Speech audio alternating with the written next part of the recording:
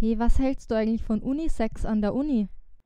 Du willst in der Öffentlichkeit vögeln, an der Uni in der Öffentlichkeit? Nein, ich meine Toiletten für alle.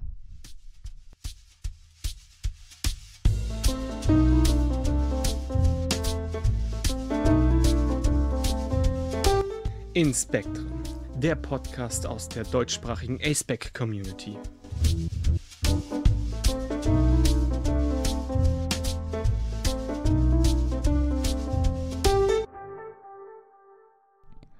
Hallo und herzlich willkommen zurück zu einer neuen Folge von Inspektren. Mein Name ist Finn. Ich verstehe mich als aromantisch und Grey Ace. Ich bin 26 Jahre alt, komme aus Österreich, weiß und verwende keine Pronomen.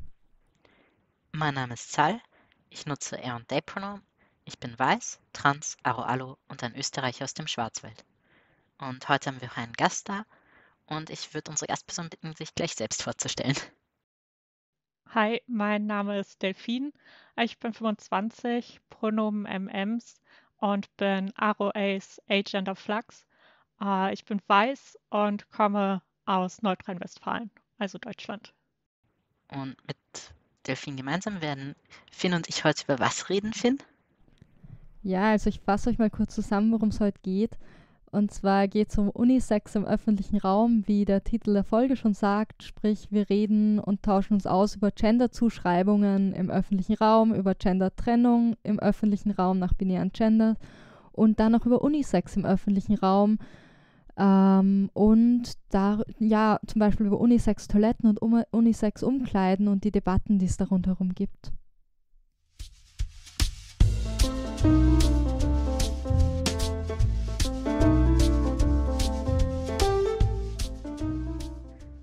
Bei diesem Thema wollten wir damit beginnen, warum das für uns überhaupt wichtig ist. Und ich würde die Frage gern gleich an Finn weitergeben. Ja, hey, warum reden wir über Unisex-Räume oder warum reden wir über Gender-Zuschreibungen? Ähm, also einfach so, dass im öffentlichen Raum gegenderte Räume existieren oder auch gegenderte Dinge, Artikel, Kleidung und so weiter. Aber gerade in gegenderten Räumen ist es ja so, dass einerseits, ja, für mich persönlich ist es so, dass ich dann oft als nicht-binäre Person trotzdem auswählen muss, gehe ich jetzt auf eine Männertoilette zum Beispiel oder auf eine Frauentoilette oder in eine Männerumkleide oder in eine Frauenumkleide. Und eigentlich weiß ich, wo Menschen gerne hätten, dass ich hingehe. Also was so irgendwie der Weg mit den, also der sozial akzeptierteste Weg wäre, aber es passt halt eigentlich nicht. Und wenn ich es dann genau anders machen würde, würde es aber auch nicht richtig passen. Und das ist dann immer so ein bisschen weird. Und dann ist es natürlich so, dass gerade in binär gegenderten Räumen es ja oft auch zu, zur Diskriminierung kommt, einfach von Transpersonen, also sowohl von binären Transpersonen als auch von nicht-binären Personen oder auch nicht mal nur von Transpersonen, sondern auch so von, von einfach von Cis-Personen, die ja Rollenklischees vielleicht nicht entsprechen oder Rollenvorstellungen nach Menschen nicht entsprechen. Hm, was ich dann noch hinzufügen wollen würde, ist, dass natürlich auch das Geschlechtszuschreiben, gerade bei Artikeln, dann auch wieder zu Diskriminierung für Personen, egal ob cis oder trans führt. Ja, genau, beziehungsweise ich, ich, es ist halt auch in vielen Fällen, also ich weiß nicht, soweit ich das mitkriege, ist es ja für binäre Transpersonen dann in vielen Fällen auch, also eigentlich musst du dich outen, wenn du auf die Toilette gehst, in manchen Fällen. Das kenne ich. Ja, dann, ich meine, da muss ich dann, oder muss eine Person dann entscheiden, will ich mich jetzt outen und auf die Toilette gehen, auch wenn vielleicht, also gerade dann, wenn eine Person ungeoutet ist, aber sich einfach wohler fühlen würde auf der Toilette des Geschlechts, dem sie zugehört, auch wenn sie vielleicht nicht als dieses Geschlecht gelesen werden würde oder nicht von allen Leuten als dieses Geschlecht gelesen werden würde. Ähm, das ist halt, ich meine, wie gesagt, es ist einfach ein, es ist ein öffentliches Outing eigentlich jedes Mal. Und für die Person, für die nichts davon zutrifft, ist halt auch, oder für mich ist es in vielen Fällen einfach auch ein Un Unwohlsein, mal schlimmer, mal weniger schlimm. Delphine, wie geht's dir damit? Um, ähm, ja, also es ist immer so ein Unwohlsein und ich, es fängt auch nicht erst im öffentlichen Raum an. Es fängt eigentlich schon äh, morgens an oder vor dem aus dem Haus gehen mit der Überlegung, ziehe ich jetzt was an, worin ich mich wohlfühle ähm, und habe dann eventuell komische Blicke, wenn ich in einen äh, gegenderten Raum komme, weil mein Aussehen nicht dem entspricht, was die Leute gerne hätten oder weil es nicht weiblich aussieht, wenn ich in irgendeinen äh, Raum, der für, keine Ahnung, Damen, für Frauen äh, gelabelt ist, reingehe. Oder überlege ich mir, nee, das, ähm, das kann ich heute nicht ab, die, diese Blicke und ähm, gegebenenfalls auch ähm, Worte, äh, das sind etwas, was ich heute nicht aushalte, dann ziehe ich etwas an, was äh, in den Augen der Leute binär ist, worin ich mich nicht wohlfühle. Ähm, ja, genau, und deswegen würde ich immer sagen, also das ist schon, ich muss nicht erst in den öffentlichen Raum rein, damit dieses Unisex-Thema irgendwie, ja, belastend für mich ist, sondern einfach nur der Gedanke, okay, wenn ich jetzt irgendwo hingehen will, dann. Aber dass du gegendert wirst, findet ja dann im öffentlichen Raum statt. Also es geht quasi darum, dass du dich dann kleidest für den öffentlichen Raum ein Stück weit und nicht mehr dafür, wie du dich wohlfühlst. Und das ist ja auch ein Stück weit sehr verschoben, finde ich. Also sollte auf jeden Fall nicht so sein. Es ist leider in vielen Fällen so. Und gerade bei dem Thema, da brauchen wir noch, also natürlich betrifft das nicht-binäre Personen und binäre Transpersonen auf eine andere Art und Weise, aber das betrifft ja auch eindeutig auch CIS-Personen, die vielleicht eben nicht sich irgendwelchen Bildern oder Vorstellungen entsprechend kleiden oder die vielleicht nicht direkt ein Bild von, keine Ahnung, ich sage jetzt mal stereotyper Männlichkeit oder stereotyper Weiblichkeit erfüllen, und darum ist das Thema eigentlich auch wichtig für alle, denke ich. Und weil dieses Thema eben für alle wichtig ist, ähm, würden wir jetzt darüber reden wollen, wo es uns schon begegnet ist. Also ähm, häufig begegnet es äh, mir und wahrscheinlich auch äh, vielen anderen, vor allem beim Thema Kleidung.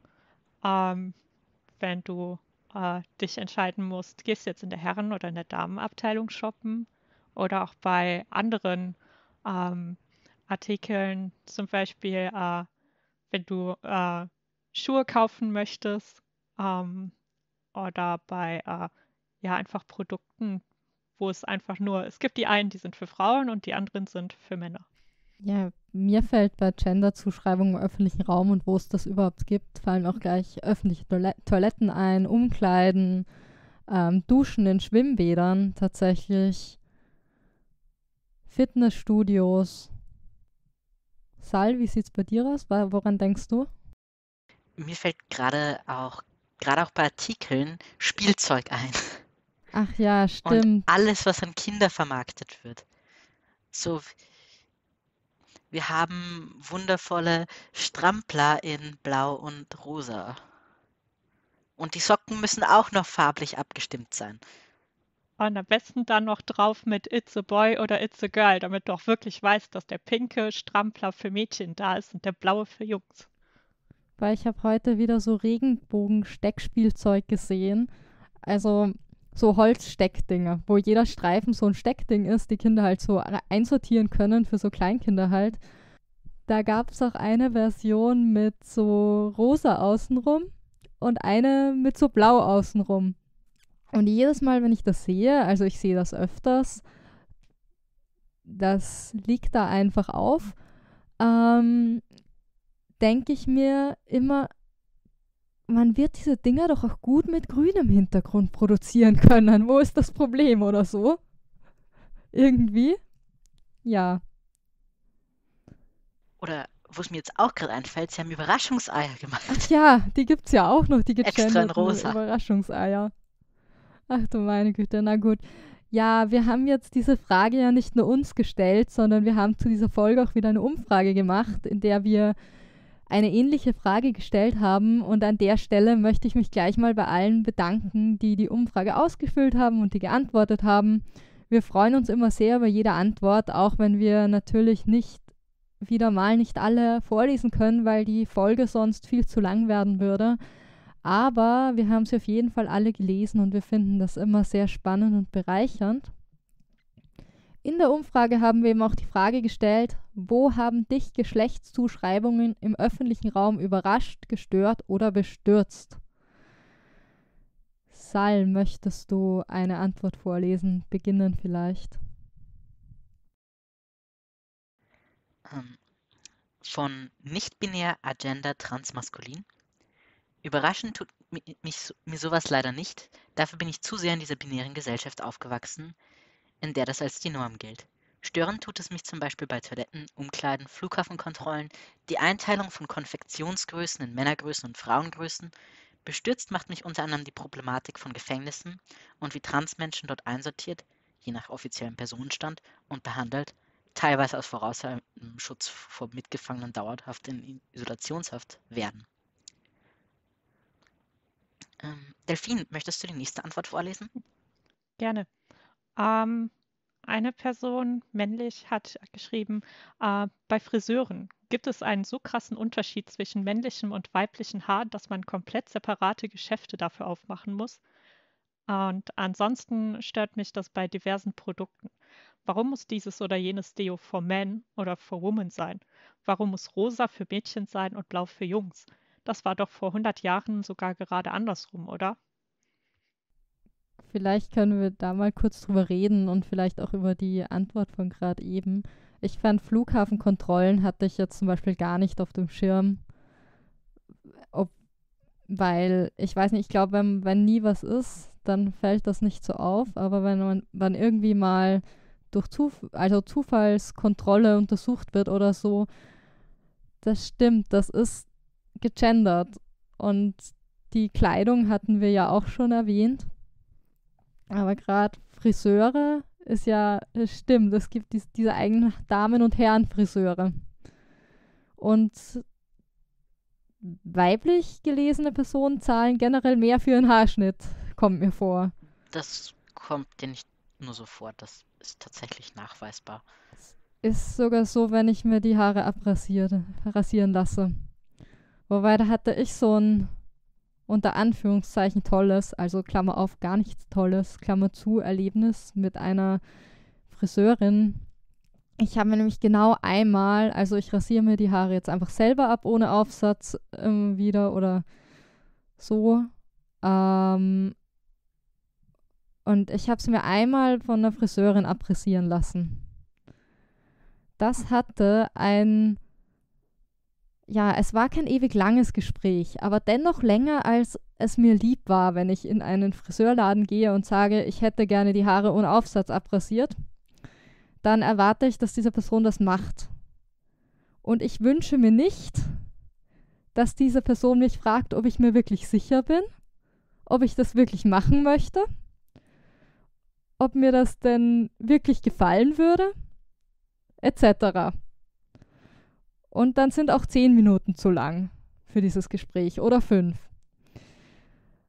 Um ehrlich zu sein, weil ich weiß, wenn ich da reingehe und sage, ich hätte mir gerne, ich hätte gerne die Haare abrasiert, dann hätte ich sie gerne abrasiert. Und nicht meine Entscheidung darüber debattiert. Ob ich das jetzt zum ersten Mal mache oder zum zweiten Mal oder keine Ahnung. Vor allem, weil du meistens ja nicht einfach dahin gehst und dir denkst, ah ja, heute, ich war gerade in der Uni und jetzt plötzlich, ach, ich lasse mir die Haare abrasieren. Meistens denkst du ja schon länger darüber nach. Ja, total. Und selbst wenn das einfach etwas Normales ist, was ich halt mache, die Dinger wachsen nach. Ja, das sage ich auch immer. Aber selbst dann zahle ich, ich weiß nicht, ich habe das jetzt nicht direkt verglichen, schon allein, weil ich, weil ich einfach nicht beim Herrenfriseur war, sage ich mal. Aber was da die, der Preisunterschied wäre, fürs Haare abrasieren. In dem Fall. Und das wäre wahrscheinlich ziemlich genau derselbe Aufwand in dem Fall. Ähm, ich glaube, meistens sind so mindestens 5 Euro. wegen Farben, der Kommentar mit, dass es vor 100 Jahren genau andersrum war, stimmt. Und es war nicht nur vor 100 Jahren andersrum, sondern davor auch schon. Und äh, teilweise war das, weil rosa das kleine Rot war und hellblau sozusagen das kleine Blau. Und blau als Farbe stark mit Frauen assoziiert wurde, unter anderem mit Maria. Und rot halt mit Blut. Und deshalb war das eine sehr maskuline Farbe. Die römischen Legionen sind übrigens tendenziell, weil sie ihre Uniform rot gefärbt haben, in rosa nach Hause gekommen, weil sich die Farbe nicht so gut gehalten hat. das finde ich gut. Siegreiche Religion. Das ist interessant. Siegreiche Legion Ja, auf Feierdurchzug. Wie hieß das nochmal? Auf Triumphzug. In rosa. Wäre historisch korrekt. ja. Macht man aber nicht in Filmen, weil das wäre zu unmännlich, oder wie? Ja. Ich finde es schade. Oh nein, hey. Das ist zwar jetzt nicht der öffentliche Raum, aber es ist eigentlich genauso, ähm, ich sag mal, bescheuert, dass das ein Problem wäre. Ähm, was diverse Produkte angeht, ich, das stimmt, ich benutze eigentlich, also ich benutze sowohl Frauen- als auch Männer-Deo. Ab, also ich habe auch beides immer bei mir stehen. Es kommt so ein bisschen auf meine, nicht nur auf meine Tagesverfassung an, aber auch darauf, was ich gerade will, brauche etc. Und es ist aber, es ist aber einfach schon, es war am Anfang ungewohnt, mir das einfach zu nehmen. Sage ich mal so. Inzwischen hat sich das gegeben und ich mache es halt einfach. Also was ist halt, ich mache es einfach, weil es das ist, was mir entspricht. Und dann habe ich die Sachen so stehen, wie ich sie habe bei mir. Aber ja, das ist auch so ein Thema. Aber das ist auch wieder was, wo ich auch direkt sagen kann, dabei kenne ich ein Beispiel, dass es auch wieder für CIS-Personen so ist. Ähm, meine Schwester holt sich nämlich äh, generell äh, Herrendeo oder ähm, Sportdeo, weil sie meint, dass ähm, das hält besser. Ähm, ich weiß nicht, ob das stimmt, aber sie holt es auf jeden Fall. Und da ist es ja dann auch wieder. Also sie bezeichnet sich selbst als Cis-Frau und holt sich dann das Männerdeo. Und das ist ja auch dann wieder diese Zuschreibung, die ja dann auch einfach nicht zutrifft. Genauso, wieso sollten nicht Männer kein Deo mit einem herberen Geruch verwenden oder so? Also, ja. Und da gibt es ja, in dem Fall gibt es ja dann auch noch jetzt auf Dauer nicht unsignifikante Preisunterschiede im Endeffekt auch noch. Bei den Einwegrasieren ist es noch lustiger. Die sind vollkommen ident, bis auf die Farbe. Das habe ich noch tatsächlich noch nicht probiert. Ich verwende nämlich keine Einwegrasierer, I guess. Aber ja, hm. Das ist mir tatsächlich äh, im Geschäft schon aufgefallen. Äh, ich benutze auch keine Einwegrasierer mehr, aber ähm, eine ganze Zeit lang und irgendwann, äh, ich glaube, ich war mit meiner Mom einkaufen, standen wir dann davor und die lagen, die pinken und die blauen lagen direkt nebeneinander und das war einfach ein richtig krasser Preisunterschied und dann meinte sie auch so, ja, äh, hat sich das angeguckt und meinte, das ist ja eigentlich kein Unterschied, dann können wir auch jetzt die blauen kaufen statt die pinken, die sind ja viel günstiger. Wow, ja. Echt. Und alles, also in dem Fall ist es halt echt nur, dass du irgendwie dein Kapital draus schlagen kannst, dass du einem Teil der Bevölkerung das eine verkaufst und einem anderen Teil der Bevölkerung das andere und ein paar Leute fallen dabei durch den Rost und lustig ist es eigentlich nicht. Ist einfach, also in meinen Augen ist es ziemlich unnötig. Ich finde vor allem, es macht für mich keinen Sinn, dass die Kosten für Sachen, die für Frauen sind, äh, so viel höher sind. Weil wenn ich jetzt zum Beispiel denke, viele Sachen für Männer, so Duschgel und sowas, sind oft in äh, schwarzen Plastikverpackungen. Und da hast du dann das Problem, voll viele äh, Müllverarbeitungsanlagen erkennen schwarz nicht. Und dann wird es nicht mehr richtig recycelt. Das heißt, also irgendwie denke ich mir, dann müsste das doch eigentlich teurer sein, weil das bei der Wiederverwertung dann durchs Raster fällt, als irgendwelche pinken Sachen. Darüber, also über das mit den Müllverarbeitungsanlagen, das wusste ich gar nicht. Aber das klingt soweit logisch, ja, was du sagst. Für mich klingt es nicht ganz so logisch, aber das liegt daran, dass daran denken, welchen Aufwand das hat oder wie sinnvoll es wäre, etwas zu bepreisen. Meistens nicht das Kalkül hinter einem Preis ist, sondern wie viel können Leute dafür verlagen, dass, dass sie noch sehr viel Geld rausschlagen. Das stimmt natürlich, ja. Nee, also das ist mir schon klar, das meinte ich auch nicht, dass ich das nicht verstehe, dass die, das Kalkül dahinter ein anderes ist.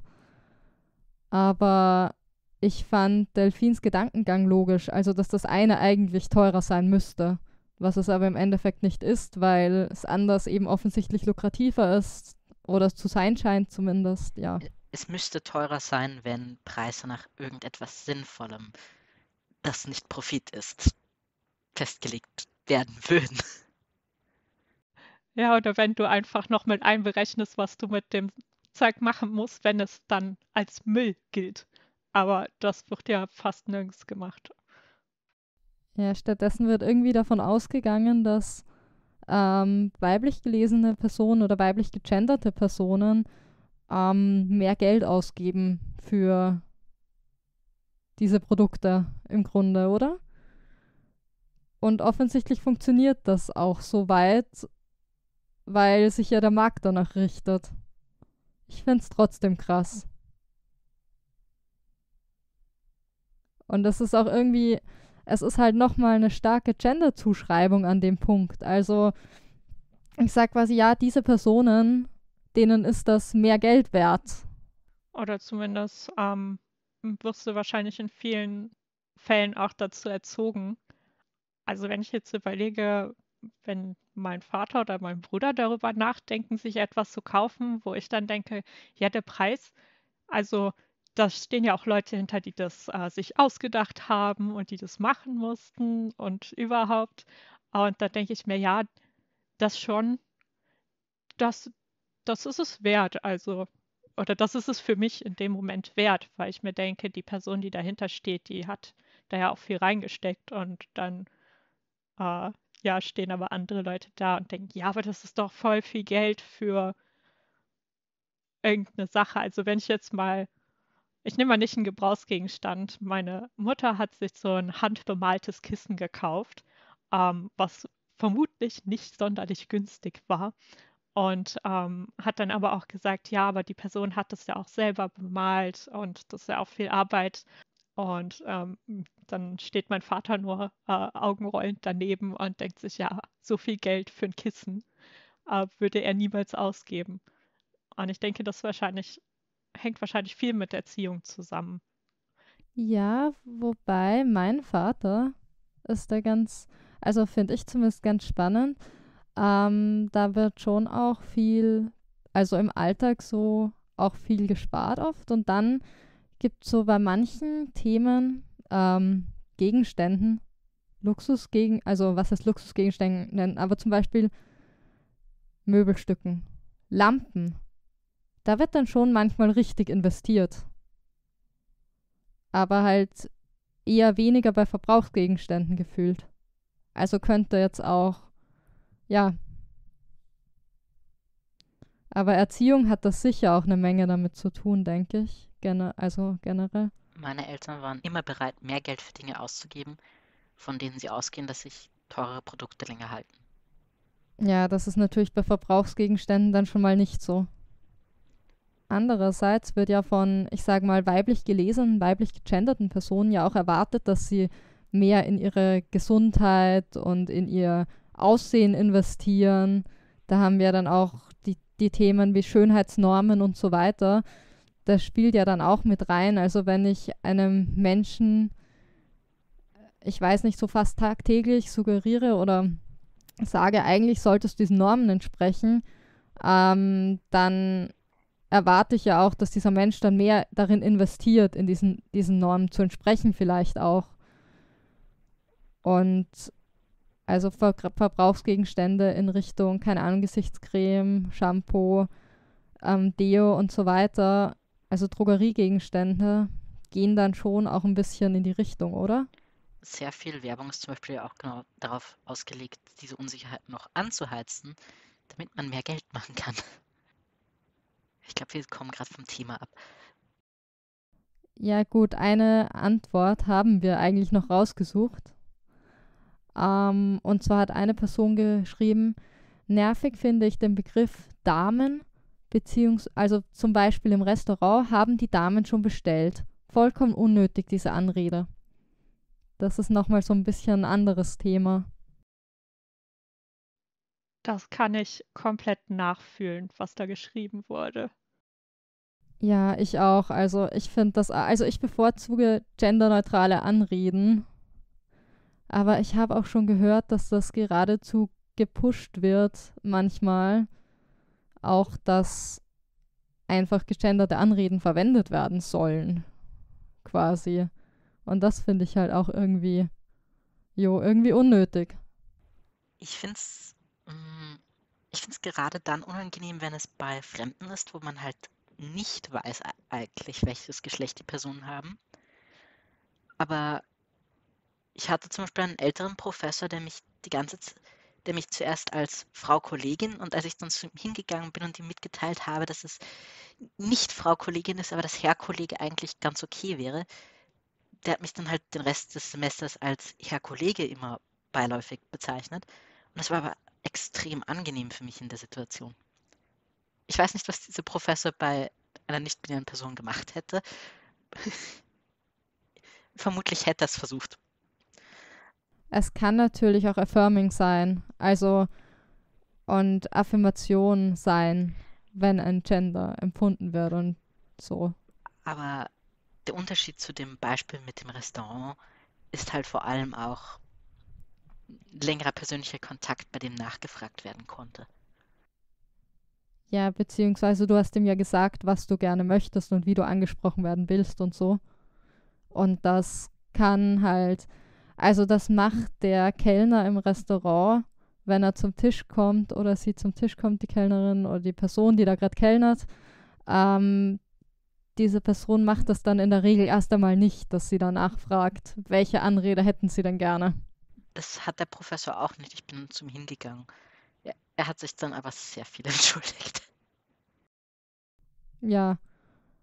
Nee, was ich meine ist, da ist ja auch kein Kontakt da und diese Person muss dann ja wirklich an, um eine gegenderte Anrede zu verwenden, schon aufgrund bestimmter äußerlicher Merkmale urteilen. Und das kann halt stimmen, das muss aber auch überhaupt nicht stimmen. Und eigentlich machst du eine Gender-Zuschreibung von, oder diese Person macht dann eine Gender-Zuschreibung zu einer Person, die sie überhaupt nicht kennt, quasi. Genau, das ist ja auch der Unterschied, den ich betont habe. Dann könnten wir gerne gleich zur zweiten Frage der Umfrage weitergehen, denke ich. Und zwar hat die gelautet, magst du uns über ein oder mehrere konkrete Erlebnisse zum Thema ungewollter Geschlechtszuschreibung im öffentlichen Raum berichten? Eine Person hat darauf geschrieben, auch wenn ich mich über manche Sachen ein wenig aufrege, habe ich keine Erlebnisse gehabt, die irgendwie schlimm gewesen wären oder die es wert wären, erzählt zu werden. Mich persönlich stört es nicht, wie aktuell alles unterteilt ist, und außer Toiletten fällt mir gerade auch nichts ein, das eine Geschlechtszuschreibung hat.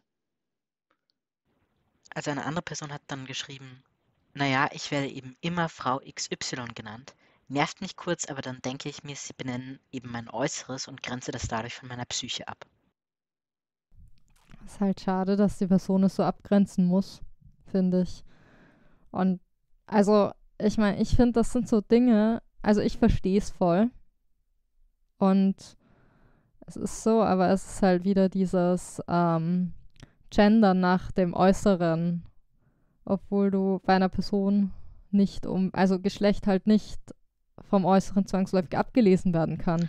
Außer die Person läuft gerade mit einem großen Button herum.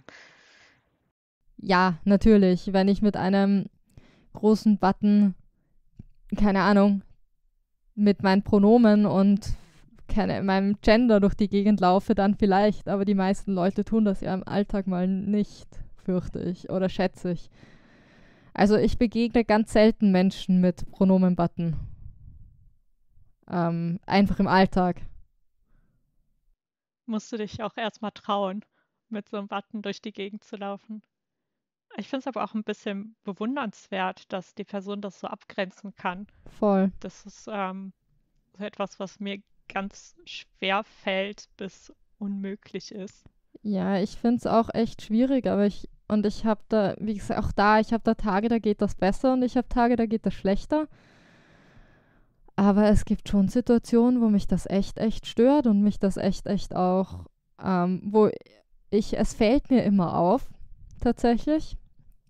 Ähm, es ist, ich habe keine Momente oder ich denke fast keine Momente, wo ich sage, da sagt das jemand und das geht an mir vorbei. Das gibt es einfach nicht, weil mir halt auffällt, weil sich halt spießt für mich.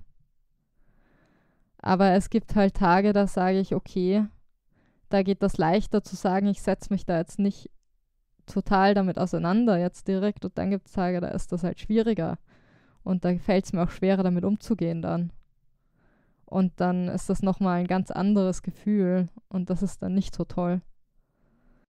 Ja, es ist wahrscheinlich dann auch immer, wie, wie lange hat sich, haben sich schon äh, solche Sachen angesammelt? Ich finde das immer, wenn ich, wenn ich mich vielleicht jetzt gestern hab, hatte ich den Fall, ich wurde Frau XY genannt und habe dann auch was dazu gesagt und das passiert mir heute wieder, dann kann ich vielleicht noch einmal einatmen, entnervt seufzen und dann weitergehen. Wenn es sich jetzt aber schon eine Woche angesammelt hat oder länger, dann ist wahrscheinlich auch irgendwann so der Punkt erreicht, wo es dann reicht und wo dann auch mal ja eine entsprechende Antwort kommt oder zumindest äh, ja gesagt wird, dass es nicht passt. Total, beziehungsweise ich meine, ich weiß nicht, wie es euch geht, aber ich, ähm, ich erlebe ja eine gewisse Dysphorie und das ist nicht immer gleich stark. Es gibt halt auch Tage, da ist es stärker. Es gibt Tage, da ist es ein bisschen weniger stark. Und es gibt Tage, da kann ich besser damit umgehen und es Tage kann ich schlechter damit umgehen. Aber auch wie du sagst, wenn sich das anstaut und gerade eh schon ein schlechter Tag ist, dann wird das eher schwierig. Ich bin aber auch durchaus froh zu lesen, um nochmal kurz auf die erste Antwort einzugehen, dass es auch Personen gibt, die da keine Probleme haben und die sich weniger schwer tun. Bei mir ist es halt so, dass für mich Herr XY eigentlich ginge, nur dass Leute mich, weil ich trans bin, auch mit Frau XY anreden. Immer noch. Aber mittlerweile, ähm, ich habe es auch vom Stimmbuch gut geschafft, Leute dazu verbessern. Und mittlerweile ist es halt auch leichter für mich, weil meine Stimme auch schon tiefer ist. Was irgendwie ein seltsamer Effekt von Testosteron ist. Seltsamer Nebeneffekt. Warum seltsam? Ich fühle mich selbstbewusster, Leute zu verbessern. Ah, okay, jetzt habe ich es verstanden. Ich dachte jetzt, dass tiefer werden der Stimme, aber und das hat mich verwundert, weil das ist ja auch ein normal, also ein üblicher Effekt von Testosteron, aber jetzt hast du es erklärt, jetzt habe ich es verstanden. Ja, kann ich aber auch irgendwo verstehen, weil, also ich meine, das kann sicher unterschiedliche Gründe haben. Und du weißt für dich wahrscheinlich am besten, wo die Gründe bei dir liegen. Aber das, was mir so direkt dazu einfällt, ist so ein bisschen, wenn ich mich gerade, wenn ich merke, ich treffe mehr das, wie ich auch sein möchte oder reden möchte, dann ist es ja auch leichter, das nach draußen zu bringen und dann zu sagen, hey, ich hätte das gern so und so. Oder ich fühle mich auch wohler oder ich sehe auch, ich kann Leute, Leute checken es vielleicht eher, weil sie hören, dass ich eine tiefe Stimme habe oder wie auch immer in dem Fall. Genau, letzteres spielt da auch stark mit rein. Und ob Leute dann eine Ahnung haben, dass ich trans bin oder nicht, keine Ahnung. Aber meistens werden sie sich aufgrund der tiefen Stimme vielleicht eher denken, oh, ups, mein Fehler. Das ist übrigens lustig, dass sich da die Reaktion von anderen Leuten auch verändert hat, weil sie, ähm, je eher sie mich für cis halten, desto eher ist es Betroffenheit, wenn sie dann darauf kommen, dass sie die fal falsche Anrede verwendet haben. Oder eine falsche Anrede ich meine, Herr ist für mich eigentlich so ein. Manchmal ist es korrekt und manchmal ist es nicht ganz korrekt, aber es ist nicht unangenehm genug, dass es mich stören würde dann. Ich finde das aber auch spannend. Also es gehört ja, ich meine, es sagt ja schon irgendwas aus, wenn du sagst, so, wenn ich dich richtig verstanden habe, ja, wenn die Leute glauben, dass du cis bist, dann, keine Ahnung, fühlen sich eher betroffen oder dann tut es ihnen eher leid, unter Anführungszeichen. Und wenn sie dich halt nicht für cis halten, dann halt nicht so. Das sagt halt irgendwie schon was aus. Weil eigentlich sollte ich halt, wenn mir jemand, wenn eine Person mir ihre Anrede mitteilt oder ihre Pronomen, dann werde ich die halt verwenden. Und wenn es vorher falsch war, war es vorher falsch, dann mache ich es jetzt richtig. Ich möchte dazu sagen, dass das eine Annahme ist, die ich treffe, weil halt seit meine Stimme tiefer ist, viel eher Betroffenheit als Reaktion kommt. Ah, okay, ja. Deshalb nehme ich an, dass das der Grund ist. Vielleicht liegt es an was ganz anderem, keine Ahnung, aber das wäre meine Interpretation. Es kann ja auch mehrere Gründe geben. Ich würde das aber, glaube ich, auch so ein bisschen in meine, also ich würde das mit meinen Erlebnissen so ein bisschen, oder ich kann es nachvollziehen oder ich, ich weiß nicht, wie ich es ausdrücken soll. Also ich meine, ja, ich kriege auch schon mal die äh, Reaktion, wenn ich dann sage, ja, Frau XY, das stimmt nicht, nehmen Sie bitte Vorname, Nachname. Ähm, dann äh, kommt ja, also dann kam auch schon mal, ja, das kann ich ja nicht wissen. Und äh, ich habe das Gefühl, wenn ich dann, ja, dass wenn, wenn sie jetzt denken würden, ich wäre cis-männlich und ich sagen würde, ja, aber Frau stimmt nicht, sagen Sie bitte Herr, dann, ja, ich, ich denke, das ist anders und dann ist so, oh shit, das hätte ich ja sehen müssen, dass es äh, eine männliche Person ist, der hätte ja Herr sagen müssen. Und ich habe das Gefühl, wenn es äh, äh, dann weder Herr noch Frau zutrifft, dann kann, kann man sich auch gut dahinter so stellen, hinter so Aussagen wie, ja, aber da weiß ich auch gar nicht, was ich sagen soll, weil es gibt ja nur Herr oder Frau oder ja, ich kann ja nicht wissen, sie sehen halt so aus wie Frau. Und dann, ja, es ist ich meine, da wäre ja die Lösung einfach zu fragen. Ich weiß ja nicht, ähm, ich meine, ich weiß ja nicht, wie ihr das seht, aber ich habe das Gefühl, dass dieses, ja, das kann ich ja nicht wissen, oft auch so ein verteidigendes ist. Also, dass dann direkt das Gefühl kommt, dass wenn ich sage, ja, hey, das ist aber so nicht richtig, ich würde keine Pronomen verwenden oder so, ähm, oder ich würde gerne einen Vornamen, Nachnamen verwenden oder ich habe einen Namen, den kann man verwenden, dass dann oft entweder, dass dann oft auch kommt, ja, aber das ist so schwer. Oder aber, ja, das kann ich, wusste ich nicht, ja, das kann ich ja nicht wissen. Also das wusste ich nicht, ist dann noch das Neutralere. Ähm, das weniger Verteidigende. Wo ich dann auch denke, ja, das kann man üben. Oder das können Menschen halt üben. Ich habe das auch mal gelernt. Und ich meine, Leute mit Namen ansprechen ist jetzt nicht so ungewöhnlich. Ja. Bei dem konkreten ich, Beispiel. Ja, naja, also ich kann mir schon vorstellen, dass es schwierig, oder ich weiß auch, dass es nicht ganz so einfach ist, direkt umzustellen, auf keine Pronomen zu verwenden, aber es bringt einen ja auch niemand um, wenn mal ein Fehler passiert. Das ist halt das Ding. Ja, es ist ja auch immer ein Unterschied, ob du merkst, die Person versucht es oder sie sagt einfach die ganze Zeit die falschen Pronomen und die falsche Anrede. Ja, genau. Also das ist ja auch irgendwie ein Gefühl, aber ich finde, Fragen löst sehr viele Probleme da. Oder einfach nicht davon ausgehen, dass eine Person bestimmte Pronomen verwendet. Ich kann ja auch immer erst einmal keine verwenden wenn ich es nicht weiß. Oder nicht. Also, oder wenn ich die Person einfach nicht kenne und nie wiedersehen werde. Ich kann doch auch relativ neutral über eine Person sprechen. Oder wenn die Person mir zwar die Pronomen mal gesagt hat, ich aber nicht genau weiß, okay, welche Form setze ich denn jetzt in diesen Satz ein? Äh, oder ich weiß nicht, mir wurden gerade die Pronomen von Person XY genannt und ich habe sie zwei Sekunden wieder vergessen, aber ich weiß den Namen noch, dann setze ich einfach immer den Namen ein. Das klingt am Anfang sehr kurios, weil du dann so oft den Namen im Satz einsetzt, was du in der Schule lernst. Das machst du nicht. Du musst da unterschiedliche Wörter nehmen und schreib mal da ein Pronomen rein, damit sich das nicht gleich anhört. Aber im Endeffekt, wenn du das äh, um eine Zeit gemacht hast, dann ist es auch so normal. Ja, beziehungsweise, wie gesagt, das, das, was ich meine mit, das kann, das ist übbar. Mhm. Das ist nichts, was, ich meine, natürlich, wenn du es nicht machst, dann wird es sich nicht, wirst du dir nicht leichter damit tun. Aber wenn du das machst oder anfängst zu machen und vielleicht auch Fehler machst am Anfang, aber dich drum bemühst, dann wird es dir auch leichter fallen, schätze ich. Ja.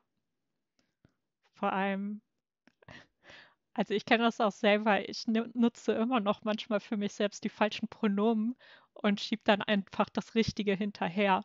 Ähm, weil wenn du keine Ahnung, wie viele Jahre deines Lebens äh, mit sie, ihr Pronomen oder so äh, angeredet wurdest, das ist auch sehr schwer, das selber rauszukriegen, auch wenn du für dich selber andere Pronomen gefunden hast. Und dann kann ich auch Leuten, die einen Fehler machen, ähm, ja, das nachsehen. Total. Und gerade bei dem Thema geht es ja auch darum, versucht die Person es überhaupt. Ich meine, mein Vater wird sicher nicht schnell darin sein, meine Pronomen zu lernen. Er versucht es. Er ist sehr langsam, aber er versucht es. Es wird sehr stetig, Total. aber langsam über mehrere Jahre hin besser. Er hat halt ein Gedächtnisproblem. Ja, Er ist immer noch besser Naja. als manche Leute.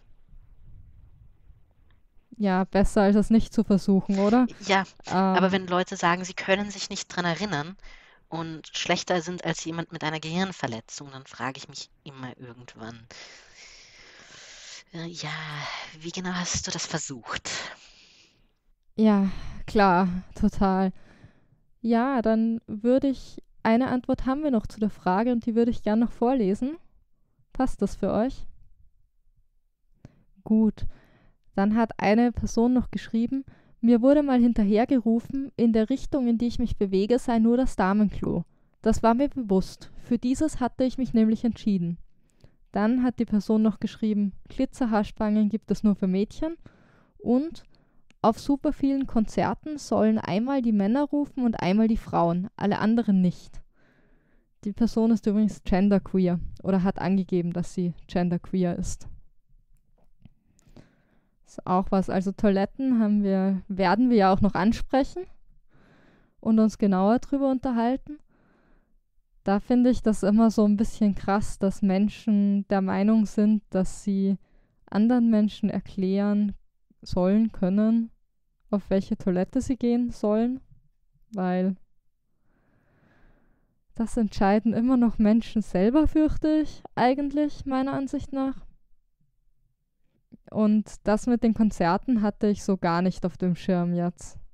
Es ist mir von selbst auch nicht eingefallen, aber jetzt, wo ich es lese, absolut. Also ich gehe nicht auf so viele Konzerte. Ich war actually äh, auf wenigen, aber wenn dann irgendwie sowas kommt mittlerweile oder bei Fernsehübertragungen von Konzerten, ich singe mal so gerne mit, wenn irgendwo Musik läuft. Und dann mache ich das einfach, ich singe bei beiden Sachen mit, weil ich mir denke, ja, das eine passt nicht, das andere auch nicht. Dann nehme ich einfach beides in dem Fall.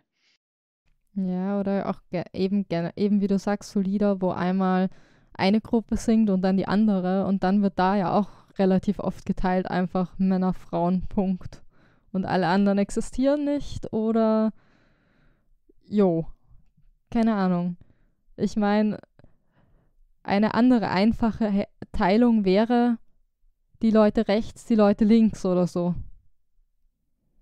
Es ist jetzt nicht so, als gäbe es keine Alternativen, denke ich. Oder die Leute vorne im Publikum und die Leute hinten im Publikum. Ja, Dann kann man auch sich irgendein anderes Merkmal rauspicken. Alle Leute mit Brillen. Ja. Ich dachte gerade, mir wäre spontan noch eingefallen, alle Leute mit hellen und, mit und alle mit dunklen Socken. Aber dann, das hat das Problem, dass die Leute wissen müssten, welchen Socken sie tragen und Leute, die gerade keine Socken tragen, durchs Raster fallen. Und Leute mit bunten Socken, die sowohl hell als auch dunkel sind. Die müssen sich's aussuchen. Die dürfen kreativ sein, wo sie sich eher identifizieren oder zuordnen. nee. Dann haben wir ja eigentlich wieder das gleiche Problem mit Socken rekonstruiert. Nee. Ja. Das Problem mit den Socken ist eher, also das dürften sich die Leute dann selber aussuchen, würde ich sagen. Aber das Problem, das ich da eher sehe, ist, dass ich regelmäßig, also wenn ich nicht gearbeitet habe an dem Tag, regelmäßig vergesse, welche Farben meine Socken haben, weil daran denke ich doch nicht. Ja, aber das wäre bestimmt auch lustig. Du sagst auf dem Konzert, einmal alle mit hellen Socken singen jetzt äh, den ersten Teil und alle mit bunten oder dunklen den zweiten Teil und alle beugen sich erstmal runter und schauen nach, was für Socken sie anhaben. Alle, die keine Socken tragen, dürfen bei denen mit den hellen Socken mitsingen. nee, okay. Vielleicht nicht nach der Sockenfarbe einteilen, aber ich glaube, es gibt andere Möglichkeiten. Du kannst natürlich auch, wenn du jetzt ähm, irgendwie du sagst, die Männer sollen zuerst, weil sie vielleicht häufig eine äh, tiefere Stimme haben, kannst du auch sagen, so alle mit einer tiefen Stimme singen jetzt den Teil und alle mit einer höheren Stimme singen den Teil. Ja, das Wäre stimmt. ja auch Das wäre gesangstechnisch vermutlich auch die bessere Aufteilung. Tatsächlich, ja. Wir sollten also den ganzen MusikerInnen einmal schreiben und sagen, ja, nimmt doch bitte die Möglichkeit. Oder die Socken, die sind auch lustig. Ja, ich glaube, ich fürchte, das Problem ist halt echt, dass viele Menschen da nicht so viel, noch nicht oder nicht so viel drüber nachgedacht haben oder halt denken, ja, es ist halt einfach, am einfachsten zu sagen, alle Männer, alle Frauen. Weil dann jeder irgendwo ist und sie haben nicht dann eigentlich nicht drüber nachgedacht, dass es da Leute gibt, die durchs Raster fallen oder Leute gibt, wo es dann schwierig ist mit dazu, die sich selber nicht zuordnen können oder wollen oder dass es einfach Leute gibt, für die die Zuordnung dann entweder eine Wahl ist zwischen oute ich mich jetzt öffentlich oder ähm, fühle ich mich immens unwohl oder so Sachen oder Menschen, die sich einfach dann generell unwohl fühlen, egal wo sie sich einordnen. Und ich glaube, da braucht es einfach auch mehr Bewusstsein und auch das, die Offenheit dann zu sagen, ja, wir können über Alternativen nachdenken. Ja, und die Personen müssen natürlich auch erstmal wissen, dass es mehr als nur die binären Geschlechter gibt. Und in dem Moment dran denken. Ja, genau. Also es muss ja erstmal bekannt sein und dann muss es dir auch noch einfallen. Ja, das meinte ich mit Bewusstsein. Ja. Also erstmal das Bewusstsein und das Wissen und dann halt auch die Offenheit für Alternativen. Ja, dann mal we weg von Socken und mehr zur nächsten Frage. Und zwar haben wir euch gefragt, in welchen öffentlichen Bereichen ihr euch mehr oder weniger Geschlechtszuschreibung bzw. Aufteilung nach Geschlecht wünscht und wieso. Und ja, ich denke, die Antworten spiegeln eigentlich unsere Meinungen ganz gut wider. Möchte mal wer von euch die erste Antwort einfach vorlesen? Also die erste Antwort, die wir uns extra rausnotiert hätten, hätte gemeint, gerne weniger in Restaurants. Überkandidelte Geschlechtszuschreibungen sind mir unangenehm. In Formularen, da finde ich sie unnötig, wenn ich doch sowieso meinen Namen angeben muss. Mehr, da habe ich vorher noch nicht drüber nachgedacht, aber es wäre schön, wenn marginalisierte Genders mal irgendwo hervorgehoben werden. Als Geschlecht gibt die, hat diese Person keine Ahnung angegeben. Was ich ganz cool finde. Um ehrlich zu sein. Ja, über die Geschlechtszuschreibung durch fremde Personen an eigentlich fremde Personen in dem Moment haben wir ja auch schon so ein bisschen geredet. Aber ich finde, Formulare, finde ich, sind nochmal so ein Thema, weil das verstehe ich auch immer überhaupt nicht. Also, oder in vielen Fällen halt nicht. Weil, Wieso muss ÖBB wissen, ob ich Herr oder Frau angeredet werden möchte? ja, also es ist eigentlich irgendwie nicht, in den meisten Fällen einfach nicht relevant.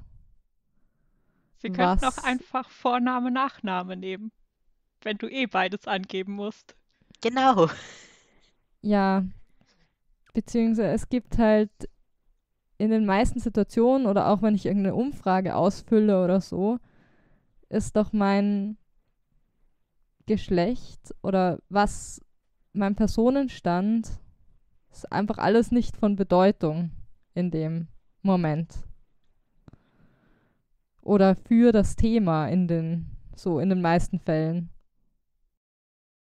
Äh, bei manchen Umfragen kann es unerwartet relevant werden, weil man zum Beispiel zu irgendeinem Thema forscht und das dann einfach abfragt und schaut, ob es Geschlechtsunterschiede überhaupt gibt. Aber äh, bei vielen Sachen ist es so, Kundenzufriedenheit, vielleicht wird es relevant, aber. Ja, wobei es wäre ja theoretisch auch möglich, da auch noch ein Write-in-Feld zu ergänzen, also gerade bei Umfragen. Ähm, ich, zumindest ich habe mal, also ich hatte mal in meinem, ich habe mal ein Themenmodul gemacht in Soziologie, so und da habe ich eine Vorlesung besucht, wo es eigentlich nur darum ging, wie macht man, wie man gute Umfragen macht eigentlich oder einige oder Umfragen, die halt möglichst wenig verfälschen und so oder die sinnvoll funktionieren. Ähm, und da war das ein Thema, dass das erschöpft, also dass die, Ange die Antwortoptionen erschöpfend sein müssen und quasi alles abdecken müssen. Und das ist halt nicht mehr der Fall. Jetzt, wenn man nur, also das war noch nie der Fall, aber es war halt, es ist halt heute auch mehr im Bewusstsein oder sollte mehr im Bewusstsein sein inzwischen, finde ich, dass das eben nicht alles abdeckt. Ja, eine Studienkollegin von mir hat bei einer Umfrage versucht, abdeckend zu arbeiten und dann vom Professor Schiss bekommen. Oh, beim Thema -hmm. Geschlecht. Das ist ja, ja auch super. Weil bei dem Thema, da, da ist das ja nicht relevant. Sie hat es trotzdem geschafft, es drin zu lassen. Und ähm, es wurde dann über mich an nicht-binäre Gruppen weitergegeben. Das heißt, es haben dann erstaunlich viele nicht-binäre Leute ihre Umfragebogen doch ausgefüllt. Ja, hey, aber du hattest doch, als wir uns vorher unterhalten haben, gesagt, du hast ein, ein gutes Erlebnis gehabt mit Geschlechtsangaben oder Nichtangaben, oder? Oder Ausweisen, Formularen. Nichtangabe hier. Ähm, ein sehr inoffizieller Bibliotheksausweis von einer Privatbibliothek, die einfach den Namen den ich haben wollte, draufgeschrieben haben, den ich auch verwende im Alltag und nicht, was damals mein legaler Name war. Die haben einfach Sal und Nachname draufgeschrieben und nichts mit Anrede. Finde ich voll gut. Ich meine, lässt sich ja offensichtlich auch machen in vielen, in manch, in vielen Fällen. Ich denke einfach, in manchen Fällen ist es halt auch wirklich nicht relevant. Mega nice. Allerdings finde ich es auch spannend, dass die Person sagt, ja, dass es schön wäre, wenn marginalisierte Genders auch mal hervorgehoben werden. Und dadurch, dass es eben momentan so ist, dass manchen oder vielen Genders, eigentlich den meisten Genders, die Sichtbarkeit fehlt, weil allen Genders abseits von männlich und weiblich Sichtbarkeit fehlt und auch der Abwesenheit von Gender Sichtbarkeit fehlt und, und so weiter, ähm, dass das schon auch mal spannend wäre. Ganz ehrlich. Äh. Es wäre echt mal schön zu hören, was es so für Gender gibt und das nicht nur, wenn ich jetzt zu einem äh, queeren Treff gehe und es gibt eine Vorstellungsrunde und alle sagen, was für ein Gender sie haben, sondern auch mal abseits von den Leute, die gar nicht in Kontakt damit sind davon äh, ja mal hören. Also ich bin immer sehr euphorisch, wenn irgendwer nicht-binäre Personen einbezieht oder auch nicht-binäre Personen einfach nennt. Also im Sommer mal beim Künstlergespräch und die Person hatte dann irgendwie, also ich sagte so, ja, Männer und Frauen, oh, and non-binary people, also und nicht-binäre Menschen, also es war auf Englisch.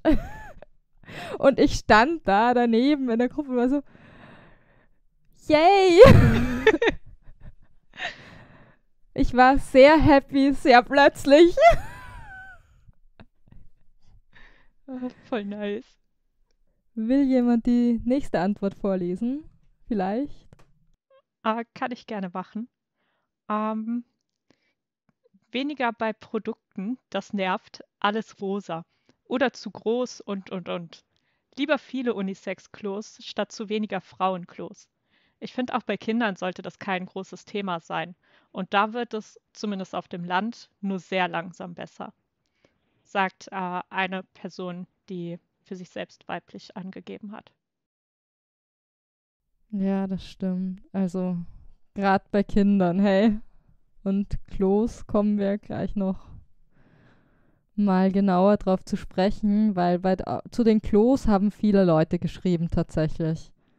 Also Toiletten sind echt so ein großes Thema und das verstehe ich auch, weil also ich meine, öffentlichen Toiletten, das sind halt Räume, die müssen wir alle oft oder immer wieder benutzen, auch wenn ich es also in, in vielen Fällen nicht gerne mache tatsächlich. Ja, das stimmt. Aber es lässt sich dann halt oft dann doch nicht vermeiden, wenn ich irgendwo unterwegs bin oder so. Und dann muss ich muss man halt. Jedenfalls hat eine Person noch geschrieben, in Toiletten mehr Neutralität. Kabinen sind sowieso abgetrennt und beim Händewaschen stört das Geschlecht doch wohl nicht. Das ist eine transweibliche Person, die das geschrieben hat. Es hat auch eine Person geschrieben, dass ich finde es persönlich wichtig, dass intime private Räume getrennt sind. Ansonsten muss meiner Meinung nach nichts aufgeteilt sein. Person beansprucht kein Gender-Label für sich. Ja, also da haben wir jetzt auch eine Person, die das nicht so sieht. Also ich meine, es haben ein paar Leute geschrieben, dass eben in Toiletten für sie zu viel Trennung passiert. Und mehrfach haben auch Leute vorgeschlagen, es könnte eher in Sitz- und, und, und Stehklos unterteilt werden, statt in Toiletten für Männer und für Frauen eben. Aber wir haben hier eben auch eine Person, die dann doch gerne die intimen Räume getrennt hätte. Und vielleicht nutzen wir die und die Chance mal, um uns das Thema der Unisex-Toiletten ein bisschen genauer anzusehen, weil das war ja irgendwie auch ähm, der Auslöser dafür, dass wir gesagt haben, wir wollen eigentlich eine Folge machen zu Unisex in der Öffentlichkeit bzw. im öffentlichen Raum. Und wir haben ja schon gesagt am Anfang, so die Vorteile von Unisex-Toiletten sind so ein bisschen das, also das Vorbeugen von Diskriminierung, dass wir auch alle ungestört auf unsere Toiletten gehen können. Oder auch, was heißt ungestört, halt auch ohne uns. Also ich meine, ich fühle mich schon unwohl teilweise. Einfach je nach Tagesverfassung auch, wie unwohl ich mich fühle, wenn ich jetzt auf eine binär gegenderte Toilette gehe in der Öffentlichkeit. Aber es passiert schon. Es ist jetzt nicht so, als würde ich, als würde mich das so überhaupt nicht beeinflussen, sagen wir so. Ja, es ist jedes Mal irgendwie so ein Outing und ja, wenn du dann zur Toilette gehst oder da weggehst, also erstmal die anderen Leute auf der Toilette nehmen dich dann wahrscheinlich als ähm, Frau wahr oder als weiblich wahr, weil du bist ja nun mal in diesem Raum.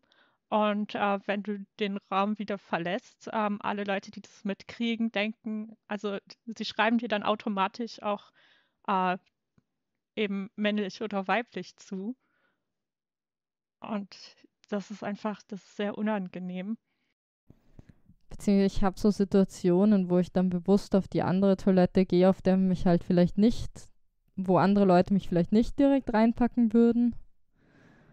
Das ist dann aber auch erstens nicht korrekt in meinem Fall, weil es halt binär ist und zweitens und ich halt eben nicht, mein Gender einfach nicht binär ist. Ähm, stimmt halt auch nicht und andererseits ist es dann halt auch andere Leute reagieren dann eben mitunter, schauen dann blöd oder blöde Kommentare oder so. Ja, also ich meine, cool ist es nicht. Bei mir ist es halt so, dass ich dann mittlerweile tendenziell in der Öffentlichkeit die Herrentoilette benutze. Was bei mir halt so halbert stimmt. Da ist es halt auch so, wie sehen mich jetzt die Leute um mich herum gerade? Immer so eine Frage. Und teilweise war es das, ähm, extra in den zwölften Stock fahren, um dort die Herrentoilette zu benutzen, weil dort ist niemand. Das kann ich so ein bisschen nachvollziehen tatsächlich. Also es stimmt bei dir wahrscheinlich eher als bei mir und kam dann bei mir eher von so einem so, ich will jetzt aber nicht auf die Frauentoilette gehen und das ist dann irgendwie das geringere Übel gerade. Und dann mich schnell beeilen. Ähm. Bei mir war es halt, das ist die halb korrekte Toilette. Die, die gerade passt. Und da war es dann aber halt so, sehen, wie sehen mich die Leute herum und diese Frage recht groß und einfach nur das, okay, dann schleiche ich mich irgendwo hin, wo mich hoffentlich niemand sieht. Was ja auch total, ähm, ich meine, muss mal drüber nachdenken, was das eigentlich bedeutet, wenn wir oder wenn Menschen, selbst wenn es von uns abtrennt, wenn Menschen einfach in einem Gebäude das letzte Klo im, ganz weit weg vom Geschehen suchen, damit sie alleine und in Ruhe und einigermaßen ungestört so halb korrekt aufs Klo gehen können. Really? Das ist schon krass. Vor allem, wenn man mal so mehr drüber nachdenkt. Ansonsten ist es einfach immer so, ja, es ist doof irgendwie, es ist unangenehm, äh, dass ich bis da laufen muss, aber so, wenn man es mal so überträgt, dass es äh, so vielen Leuten so geht und dann einmal so kurz von sich abkoppelt, das ist schon heavy. Voll. Und ich meine, wie gesagt, ich habe gesagt, es kommt auf für mich kommt es dann echt, echt auch wirklich auf den Tag an und auf was ich gerade kann oder nicht kann. Aber es gibt ja also Leute, die sich damit immer gleichermaßen relativ auf einem hohen Pegel unwohl fühlen. Das ist ja, und neutral ist es für mich auch nie. Na gut. Ja. Ähm, weitere Vorteile, die erwähnt wurden? waren eben Geschlechtergerechtigkeit. Genau. Das haben wir eigentlich schon angesprochen. Und auch pragmatischere Platznutzung, was auf die Umsetzung drauf ankommt. Ja, das stimmt. Also je nachdem, wie ich das anstelle. Aber es gibt ja, es gibt ja Konzepte. Also ich habe mir in der Vorbereitung so ein Architektenblatt mal durchgeblättert, die einen quasi einen schönen Artikel hatten zu Vorschlägen für Unisex-Toiletten und was beachtet werden muss eben bei Unisex-Toiletten, wenn Unisex-Toiletten gebaut werden. Und das ist, ich meine, das muss man sicher richtig machen, weil ich glaube, ich kann, es ist, ich meine, ganz blöd gesagt, ist es vermutlich möglich, alles auf möglichst ähm, unproduktive, möglichst unpragmatische Weise auf möglichst viel Platz zu bauen. Und dasselbe Ding kann ich kleiner, konstruktiver, produktiver und pragmatischer auf engere Fläche bauen. Wahrscheinlich noch besser funktionierend, wenn ich es richtig mache.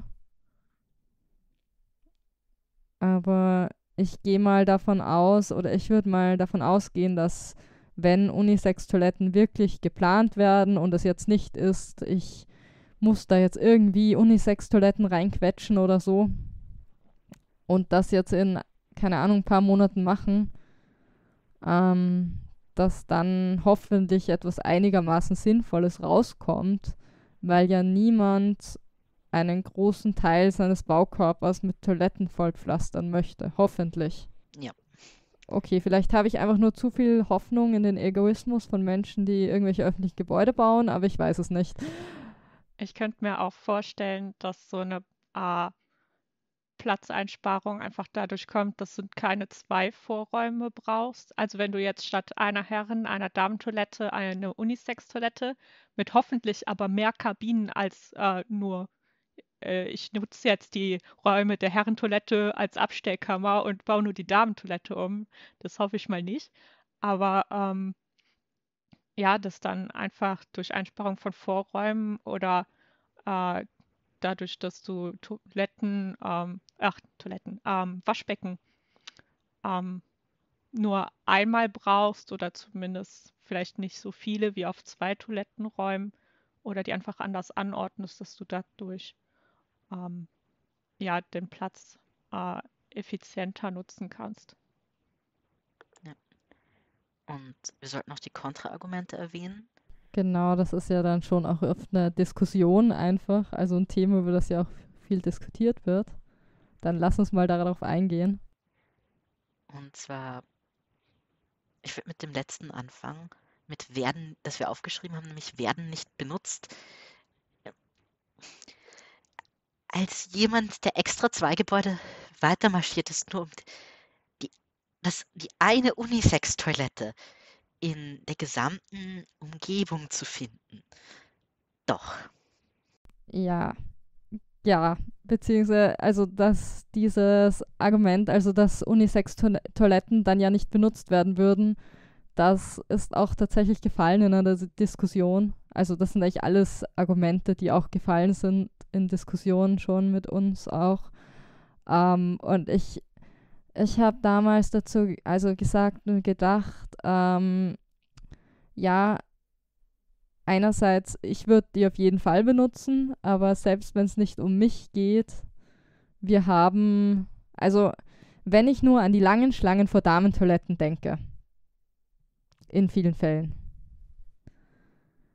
Und daran, dass ich schon sehr oft erlebt habe, dass wenn dann lange Schlangen vor Damentoiletten waren und niemand auf der Herrentoilette, dann auch weiblich identifizierte Personen auf Herrentoiletten gegangen sind, sehe ich nicht, warum Personen dann nicht auch auf Unisex-Toiletten gehen würden. Ich würde das auch ähm, tatsächlich aus meiner eigenen Beobachtung, äh, zumindest äh, für da, wo ich es erlebt habe, bei uns an der Uni am Campus, es gibt ein, oder es gab zu der Zeit eine Unisex-Toilette, vielleicht gibt es mittlerweile mehr, weiß ich nicht. Ähm, und es ist natürlich äh, für, wenn du das erste Mal am Campus bist und vielleicht die ersten Wochen, das war für mich selber auch so, das war irgendwie total komisch. Du bist fast auf diese Toilette gegangen und hast dann gesehen, sie ist irgendwie für alle und bist dann vielleicht doch die nächste gegangen, weil die nur wenige Meter auseinander waren. Ähm, aber dann irgendwann hat sich das dann so gegeben und dann sind äh, da einfach auch alle Leute hingegangen. Also die erschienen mir nicht äh, weniger genutzt als alle anderen Toiletten auch. Es war einfach nur äh, am Anfang sehr ungewohnt und ich äh, meine auch, das irgendwie zum äh, Start des neuen Wintersemesters dann gemerkt zu haben, okay, da war auf den anderen mehr los, weil es halt auch die Zeit war, wo neue Leute mit dem Studium angefangen haben. Aber zumindest aus meiner, meinem eigenen Erleben würde ich sagen, da gehen Leute drauf und da gehen ähm, mit Sicherheit auch Leute drauf, die sich selbst als cis identifizieren. Ja, das wollte ich auch sagen. Also es ist wahrscheinlich erstmal ungewohnt einfach in vielen Fällen und dann gewöhnen sich Leute daran und gehen hin. Delphine, du hattest vorher auch ein Argument geäußert, das du gehört hast in der Diskussion, dass Männertoiletten manchmal auch einfach dreckiger sind als Frauentoiletten und die Person hätte dann geäußert, ob dann nicht alle Toiletten so aussehen würden. Ähm, genau. Ja? Ähm, das war ähm, äh, mit den äh, Leuten, mit denen ich einen äh, Stammtisch äh, zusammen organisiere in Kooperation auf der ist und, äh, für nicht-binäre Aros und Aces.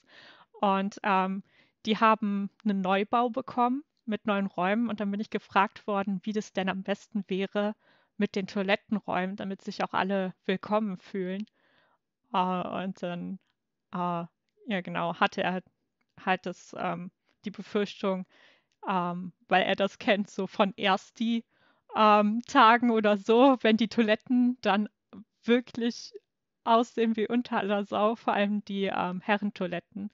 Ähm, ja, dass dann, nachher alle Toiletten so aussehen und ähm, ja, ob das dann nicht doch besser wäre, die getrennt zu halten. Ähm, ich weiß jetzt nicht, also es waren seitdem erst die Tage. Ich habe nicht gehört, dass die Toiletten total ähm, versaut gewesen wären. Ähm, aber vielleicht benehmen sich die Leute dann auch besser, wenn sie wissen, dass alle auf diese Toiletten gehen. Wer weiß. Ja, also wir hatten in der Recherche ja auch ein Beispiel von einer Schule, also von der Segefeldschule in Ulm, die Unisex-Toiletten etabliert haben. Da haben wir auch einen Artikel, den findet ihr in unseren Quellen in den Shownotes. Ähm, die haben einfach Unisex-Toiletten etabliert und scheinbar, also angeblich sind die ja Zauberer. Auch, und also ich meine, die sagen auch, ja, nach anfänglicher Eingewöhnung wurden die dann ganz normal benutzt. Aber sie sind jetzt scheinbar sogar sauberer als vorher. Ich kann mir das jetzt auch nicht genau erklären, aber es dürfte beitragen. Oder beziehungsweise es dürfte bislang nicht zum Problem geworden sein, dass das dann alles dreckig war. Ich würde sagen, viel kommt hier vermutlich auch darauf an, wie der Raum designt ist, weil Sie ja da auch erwähnt haben, dass was bei der Schule stark geändert worden ist. Das heißt, wenn der Raum jetzt vielleicht mh, mm, schon von sich aus einen weniger schrecklichen Eindruck erweckt, vielleicht trägt das dann mehr dazu bei, dass Leute einen schönen Raum nicht verunstalten wollen. Und bei den vorigen Räumen, die vielleicht nicht so schön waren, das kein Problem war. Das könnte vielleicht sogar auch ein Faktor sein. Ist schwer zu beurteilen. Also ich würde sogar, also ich kann das jetzt auch nicht irgendwie belegen, aber es klingt für mich auch äh, sehr eingängig. Die haben ja auch wirklich das alles voll umgestaltet und das waren dann neu gestaltete Räumlichkeiten, neu gestaltete Toiletten, von dem her, das glaube ich schon, dass das da einen Einfluss darauf haben kann oder hat. Dazu hatte ähm, dann tatsächlich die Person, die das Argument mit dem dreckig ähm, oder die Sorge hatte, äh, im Nachgang, weil wir da öfter drüber geredet haben, äh, dann die Vermutung angestellt, dass es vielleicht äh, zur Sauberkeit beitragen kann, wenn du weißt, ähm, dass äh, das Geschlecht, auf das du stehst, was ähm, der Tatsache bei vielen das äh, andere ist oder nicht das eigene, auf dieselbe Toilette geht. Ich weiß nicht, ob das stimmt, aber ich fand das eine sehr interessante Überlegung. Das ist eine interessante Überlegung, aber ich habe davon keine Ahnung. Würde das dafür sorgen, dass ähm, lesbische und schwule Personen eher saubere Toiletten hinterlassen? Ich habe keine Ahnung, aber. Also, ich zweifle, also ich bezweifle, dass das der einzige Hauptfaktor ist in der Frage, aber es ist eine interessante Spekulation, sagen wir so. Lassen wir das, das so stehen? Das wäre das, okay. worauf das Argument hinauslaufen würde, aber ich bezweifle ein bisschen, dass das a priori stimmt. Also, ja, ich glaube auch nicht egal. Ich glaube, wir haben noch ein Argument, über das wir, glaube ich, noch ein bisschen mehr reden werden, weil das ja ein Argument ist, das oft gebracht wird, was, als, was, als eines, das gegen ähm, Unisex-Toiletten spricht, nämlich, dass eben die Toiletten Schutzräume für Mädchen und Frauen darstellen und bei Unisex-Toiletten dann eben dieser Schutzraum nicht mehr existieren würde, weil eben andere Geschlechter ebenfalls auf diesen Toiletten wären und eben unter anderem Männer. Oder in einer schwächeren Form die Frage, ob dann vor allem CIS-Frauen und CIS-Mädchen sich noch wohlfühlen würden auf diesen Toiletten. Ich würde sagen, dass das etwas ist, was sehr, sehr stark von der tatsächlichen Umsetzung von Unisex-Toiletten abhängen würde wenn man das Argument jetzt ernst nimmt und wenn es auch ernst gebracht wird und nicht nur als Vorwand, um Transpersonen auszuschließen, das gibt es leider manchmal auch, aber nehmen wir jetzt mal die seriöse Variante des Arguments an. Ähm, weil wenn eine Unisex-Toilette tatsächlich ähm, eine Kabine ist, wo man oben und unten nicht reinsehen kann, wenn ein Spiegel drin ist, damit Leute es zum Umziehen oder für Make-up nutzen können, dann ist es sicher immer noch ein Raum, in dem sich eine Person wohlfühlen kann. Wenn es teilweise, wie wir wissen, wie teilweise in den USA Toiletten gebaut werden, wo man, ähm, wo man bei den Toilettentüren fast noch die Knie sehen kann bei den halben Leuten und es erst da unten anfängt, na, dann würden sich viele Leute in einer Unisex-Toilette vermutlich nicht wohlfühlen. Ja, total. Ich finde auch, dass wir das, dass es auf jeden Fall ein Argument ist, dass, er, dass wir auch ernst nehmen sollten und über das wir auch ernst reden sollten, weil gerade darüber ja dann auch extrem viel gestritten wird, eben weil es auch eine Version gibt, die einfach dann stark gegen Transpersonen gerichtet wird. Aber grundsätzlich kann man diese Sorge ja auch einmal erst einmal reden. Und dann sind wir eigentlich schon an dem Punkt, wo wir uns eigentlich fragen müssten, wie, wie könnten so Unisex-Toiletten aussehen? Oder wie könnten Unisex-Toiletten oder Unisex-Räume generell, weil was wir für Unisex-Toiletten hier sagen, gilt ja in vielen Fällen, könnte auch für Duschen gelten oder für Umkleiden im Grunde. Mit ein bisschen Anpassung was da gemacht werden kann, damit sich eben alle Personen darauf wohlfühlen. Auch wenn es Unisex-Toiletten sind. Genau. Und bei dem Thema gäbe es beim Schulbeispiel eben, dass sie es so umgesetzt haben, dass es eben eine geschlossene, dass es eben geschlossene Kabinen gibt an der Schule. Ich rede jetzt von der Segefeldschule um. Wieder und dass in jeder Kabine ein Spiegel ist. Das heißt, wenn zum Beispiel ein Mädchen mit Kopftuch die Haare richten möchte, dann kann sie das in der Kabine mit Spiegel tun. Genau. Und auch generell, also es gibt dann natürlich auch noch die Idee, bevor wir jetzt genau auf die Gestaltung der Unisex-Toiletten noch weiter eingehen, ähm, dass Unisex-Toiletten einfach zusätzlich zu gegenderten Toiletten existieren. Das ist, finde ich, auch eine also da habe ich mich, hatte ich bis jetzt auch schon sehr schöne Erfahrungen, dass es einfach eine dritte Toilette gab.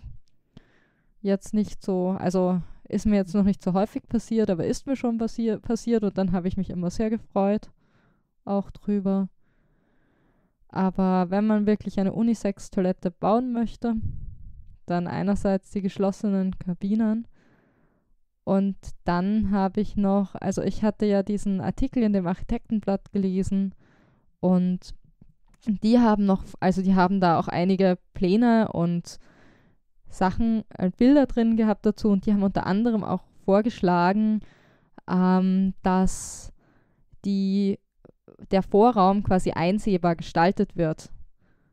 Einerseits, dass sie eben Kabinen machen, wo dann nicht nur Spiegel, sondern auch Waschbecken drinnen sind.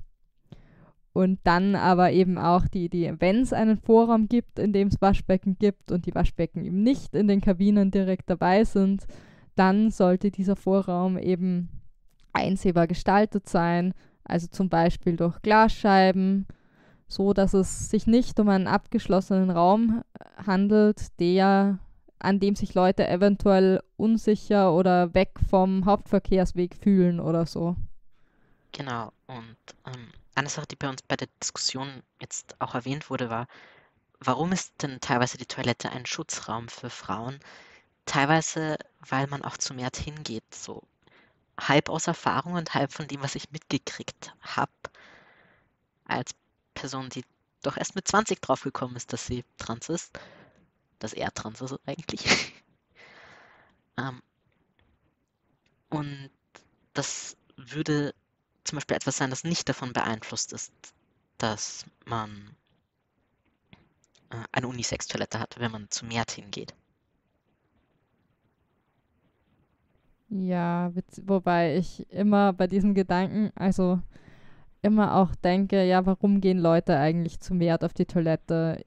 Das hat ja auch was mit Sozialisation zu tun und damit, dass immer auch, ich weiß nicht, ich habe das Gefühl, diese, die Idee dieser Gefahr steht immer so auch ein bisschen im Hintergrund. Ähm, und ich finde, da stellt sich für mich so ein bisschen die Frage, ich meine, ich sage jetzt nicht, ähm, warum es diesen Schutzraum braucht, gerade auf einer Toilette. Und Schutzräume sind generell wichtig für Menschen, Safe Spaces sind wichtig in allen Formen, aber es gibt, und wir sollten nicht ignorieren, dass wir absolut momentan auch ein Bedürfnis nach Safe Spaces haben in dem Bereich.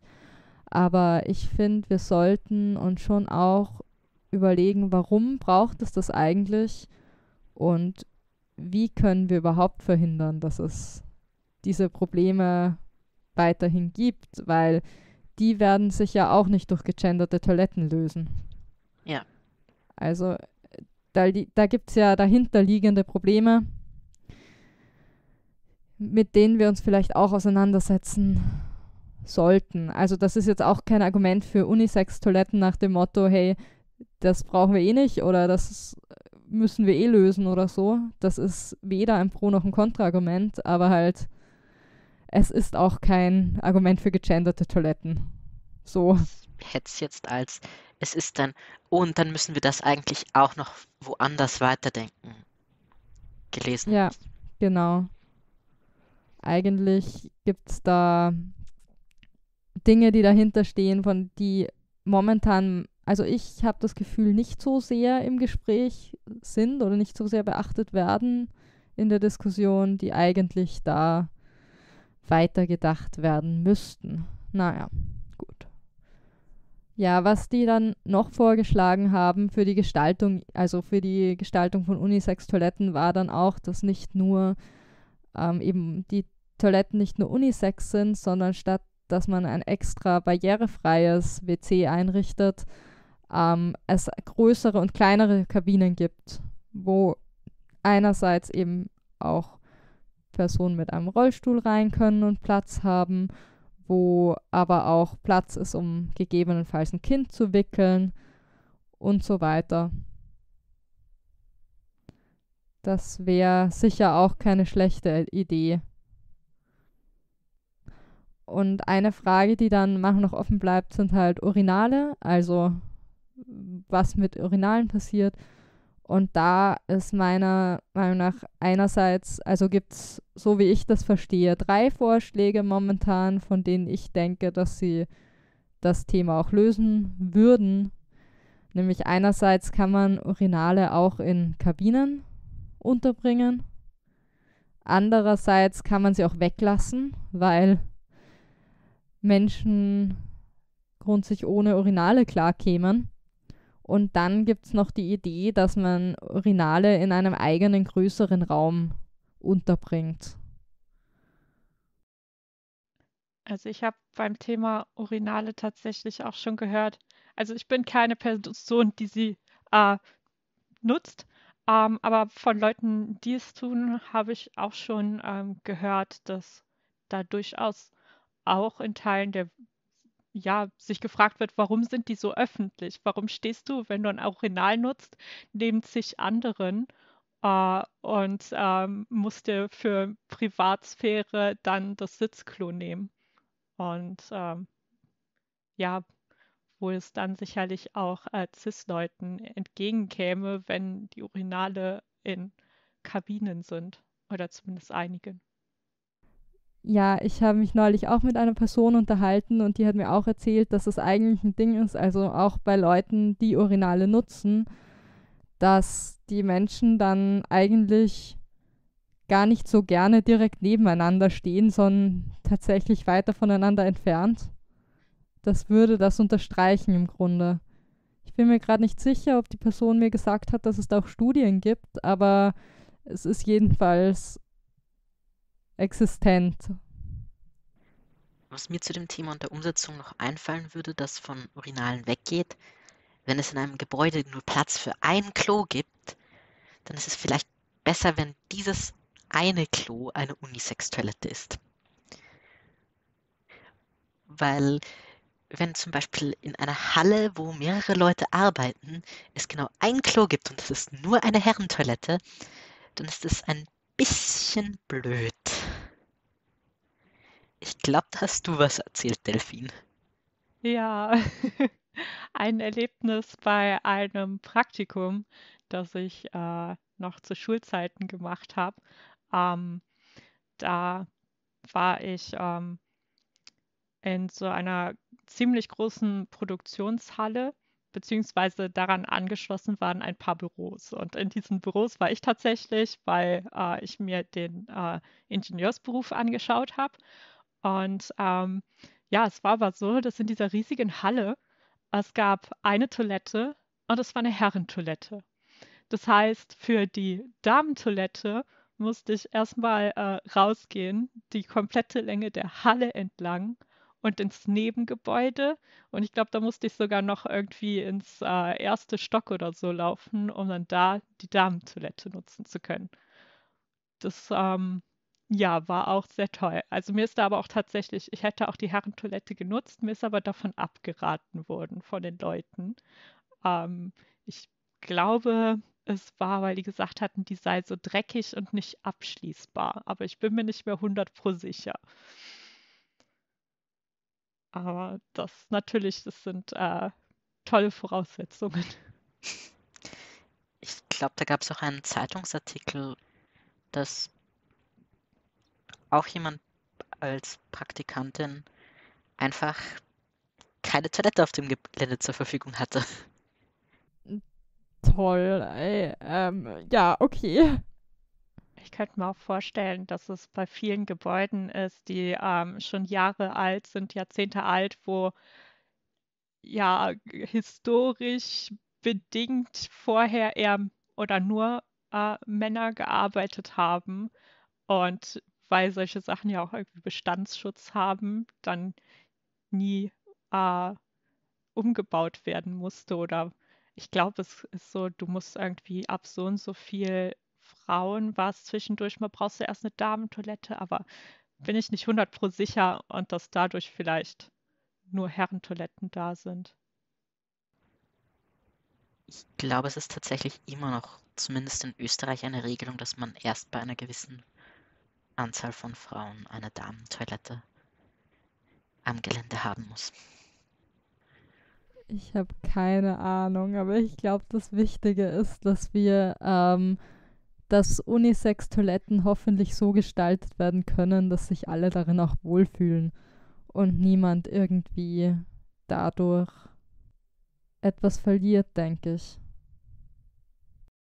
Tatsächlich finde die ähm, äh, Arten, wie das ausgestaltet werden können, wären auch für äh, bestehende binär aufgeteilte Toiletten super, weil wenn ich mir überlege, auf einem Frauenklo, du kannst unten drunter gucken, du kannst oben drüber äh, schauen, da fände ich es auch ganz nice, wenn die einfach geschlossen wären, die Kabinen. Also würde ich sagen, ist nicht nur was für Unisex-Toiletten. Kommen wir zur nächsten Frage in der Umfrage. Bei welchen Gegenständen wünschst du dir weniger bzw. mehr Geschlechtszuschreibung oder Aufteilung? Und weshalb? Ja, ich würde gleich wieder mit einer Antwort einsteigen, wenn ich darf. Ja, sehr cool, danke.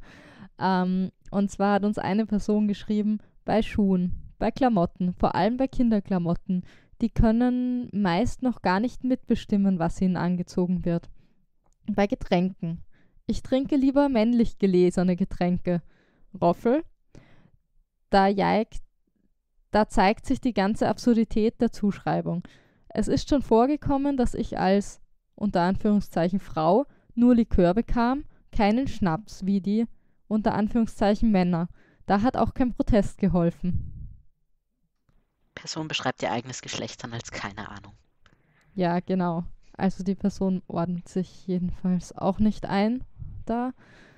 Ich finde das mit den männlich gelesenen Getränken spannend. Also sicher einerseits da scheinbar auf diesem Event diese Unterteilung und andererseits bezieht sich das ja auch auf die ganzen Light-Getränke oder bei Cola, Coca-Cola Cola Zero und Coca-Cola Light und so. die ja ganz unterschiedlich gemarketet werden. Also das eine eher an Frauen und das andere an Männer. Was ja auch absurd ist eigentlich im Grunde. Oder auch, dass dir als Frau eher, du eher gefragt wirst, was für ein Wein oder was für eine Schorle du haben möchtest. Oder dir zuerst die Karte äh, auf den Seiten aufgeschlagen wird.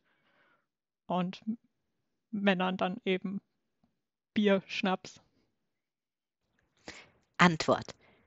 Ich bin Anti-Alkoholiker. Ja, Sehr genau. so, irgendwie so. Haben Sie ein alkoholfreies Bier? Meistens nicht, nein. Und bei Schuhen muss ich sagen, das kenne ich auch.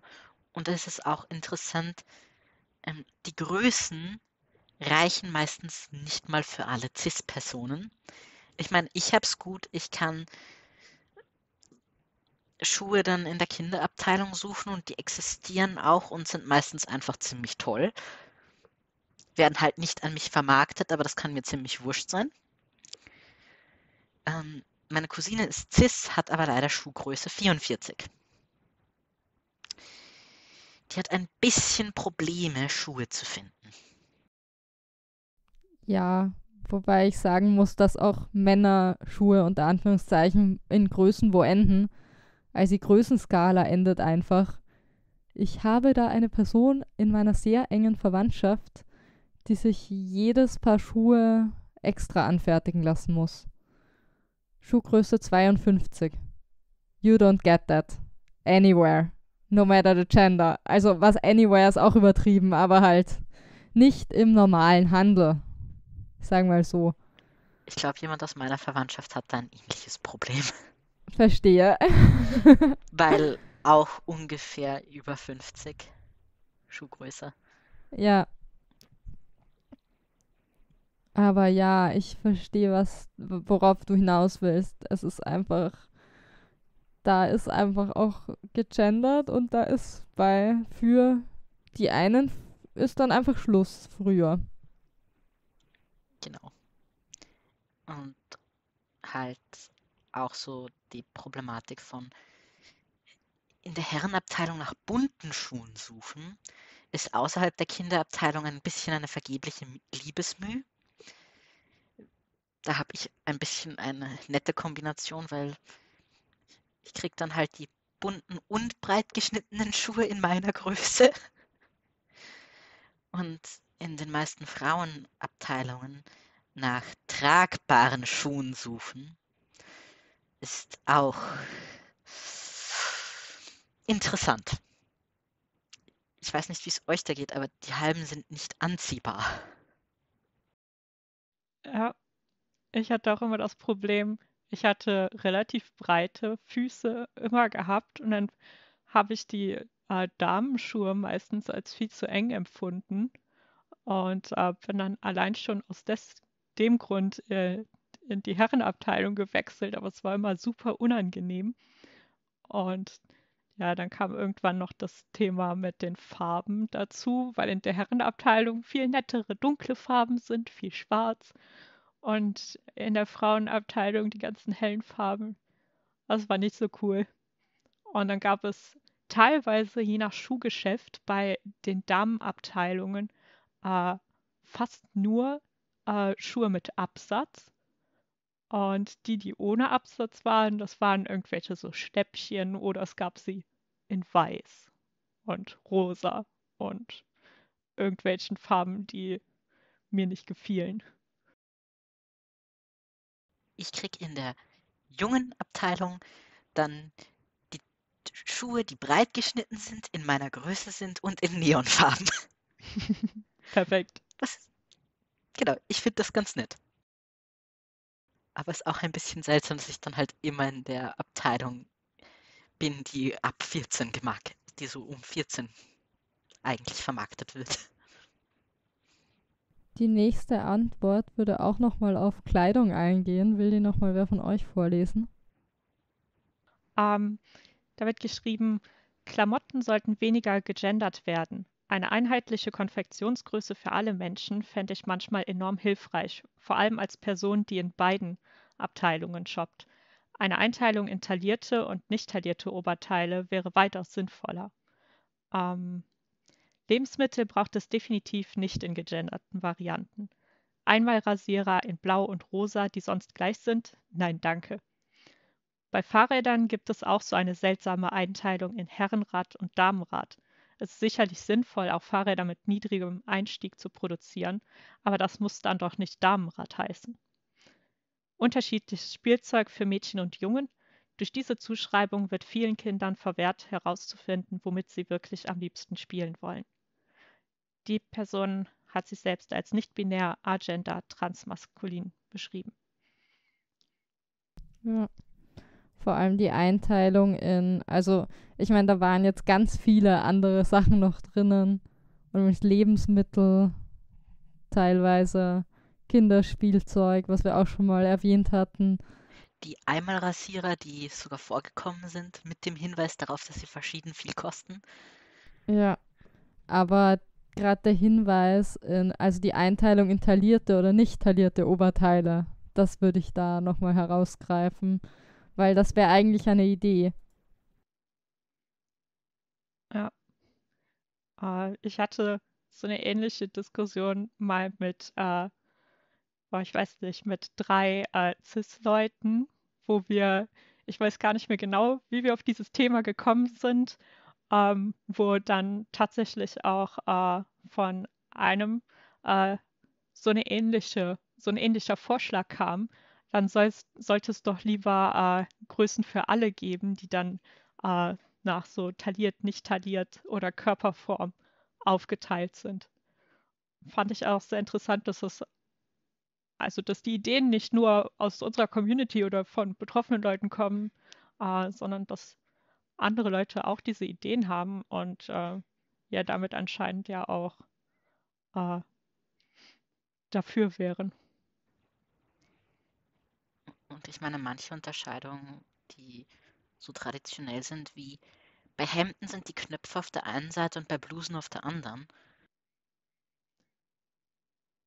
Ich glaube, das ist auch bei Hosen irgendwie der, äh, der Schlitz äh, mit dem Reißverschluss. Ich meine, das wäre äh, traditionell auch verschieden gewesen. Und ich glaube, das hing äh, damit zusammen, wer äh, auf welcher Seite in der Kirche auf den Bänken sitzt. Äh, das ist eine sehr kuriose äh, Einteilung. Moment, was? Wieso? Wenn ja, wieso weiß ich das nicht? Äh, ich muss aber zugeben, ich weiß nicht mehr, wo ich das gefunden habe. ich werde das recherchieren. Äh, das mit den Knöpfen, das habe ich jetzt nicht falsch hinbekommen, weil das müsstest du besser wissen als ich. Oder?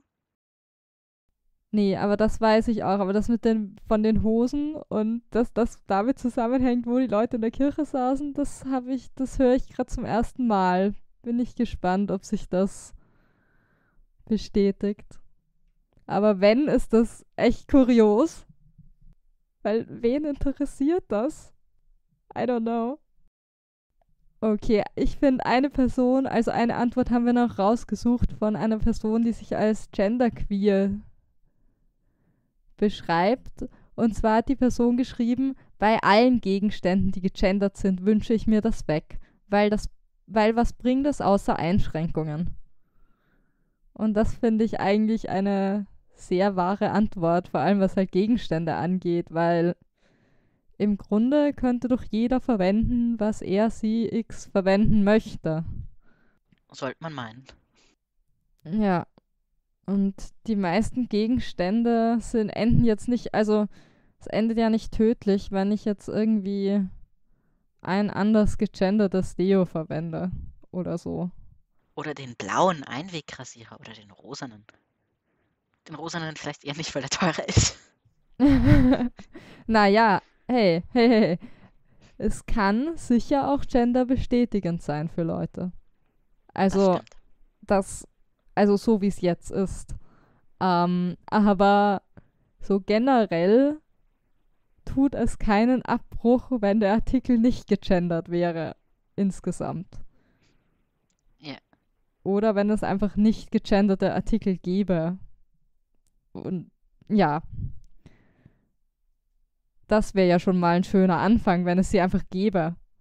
Ich meine, so wie ich Kapitalismus kenne, wenn sie die einführen, extra Gegenstände, die auch noch in grün sind, dann machen sie da einen Preisaufschlag. Weil sie wissen, dass Leute wie wir dafür zahlen würden. Ja, dann haben wir noch zwei Fragen zur Selbstentfaltung gestellt. Und zwar lautet da die erste, wo haben dich Geschlechtszuschreibungen im öffentlichen Raum von deiner freien Selbstentfaltung abgehalten?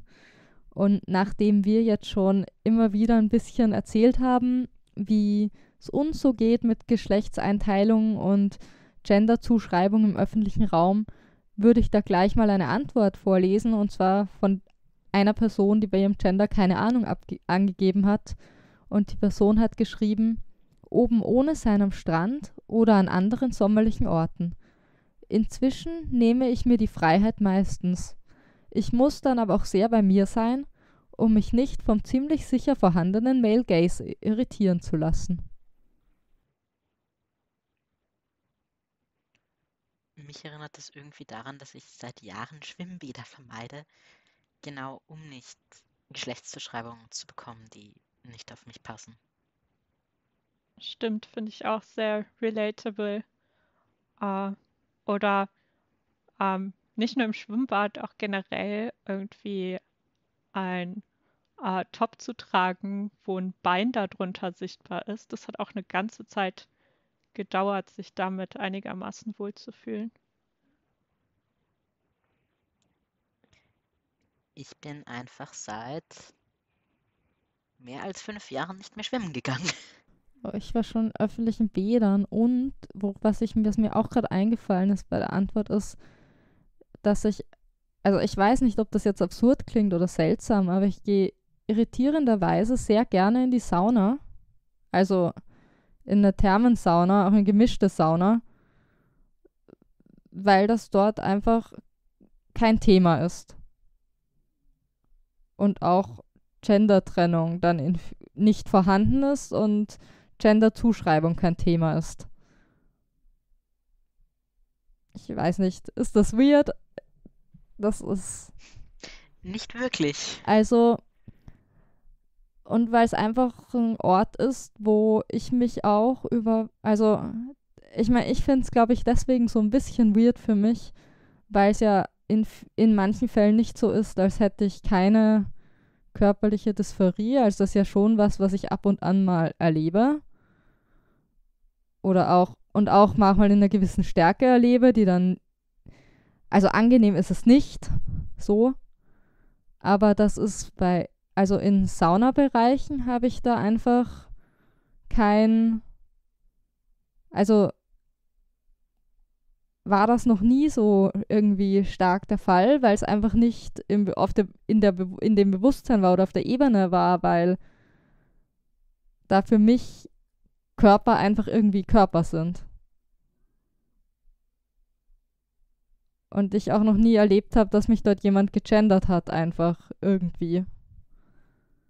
Richtig spannend eigentlich. Ja, ist interessant. Also mir würde es da komplett anders gehen in Saunen, so vom Wohlfühlen. Aber ich kann es trotzdem irgendwie, ich finde es sehr logisch. Ähm, ich kann es jetzt auch nicht irgendwie genau erläutern, aber weil ich glaube, bei mir ist nur das Thema, ich fühle mich mit meinem eigenen Körper so unwohl, dass ich damit nicht in eine Sauna gehen will. Aber irgendwie die nicht oder nicht so vorhandene Trennung in äh, die Geschlechter da ja durchaus als äh, angenehm oder angenehmer zu empfinden, das kann ich, würde ich sagen, gut nachvollziehen. Ist vielleicht eher was für Leute, die ohnehin schon gerne in die Sauna gehen oder so. Ich weiß ja nicht. Mag auch sein. Liegt vielleicht dann daran, dass meine Eltern mit mir in die Sauna gegangen sind. Also wie ich dann älter war, nicht als Kind, aber darf man ja auch nicht als Kind. Ähm, ja, keine Ahnung. Ich muss gerade nachdenken, ob ich überhaupt jemals in einer Sauna war. Also. Ach, das ist schon ganz nett, finde ich. Es ist sehr entspannend, sehr angenehm, einen Saunatag zu haben. Ich, ich glaube, dann würdest du es vielleicht hier bei uns mögen. Wir haben eine Sauna im Keller. Ich nutze die nicht. Also im Moment nutzt die auch keiner, aber irgendwann sind meine Eltern auf die Idee gekommen, eine Sauna im Keller zu haben. Wäre echt nice. Das ist eine nette Idee. Hey, ähm, nein, aber ich glaube, wir schweifen wieder ab. Zur nächsten Antwort dann. Nirgends für mich hängen Geschlechtszuschreibung und Selbstentfaltung bei mir persönlich nicht zusammen. Von einer Person, die keine Gender-Label für sich beansprucht. Was ich aber auch, also ich finde es spannend. Also für manche für Leute ist das ein Thema, für andere Leute ist es kein Thema. Und das finde ich auch mal ganz wichtig, dass das einfach total unterschiedlich ist. So wie zum Beispiel für mich das Saunagehen da ganz anders ist, als es für Delfin wäre, zum Beispiel für dich wäre. Mhm. Das ist einfach auch total individuell. Dann äh, lese ich mal die nächste Frage, äh, die nächste Antwort vor. Ich habe häufiger mal Sachen nicht gekauft, weil es für Frauen oder für Männer war und ich mich damit unwohl gefühlt habe. Ich werde aufgrund dessen, wie mein Geschlecht wahrgenommen wird, anders behandelt. Ich habe mich nicht getraut, zu manchen Orten zu gehen. Ähm, die Person hat äh, für sich selbst aufgeschrieben, äh, genderqueer, Geschlecht, nein, danke. Übrigens eine mega coole Antwort auf die Frage nach dem Gender. Total. Ich feiere das auch. Und das, beziehungsweise ich habe es gefeiert, als ich es gelesen habe ähm, das, was das erste, was die Person geschrieben hat, mit den Sachen nicht gekauft, weil sie für, weil sie irgendwie gegendert waren, das erleben, glaube ich, auch ganz viel, ganz viele. Oder ja.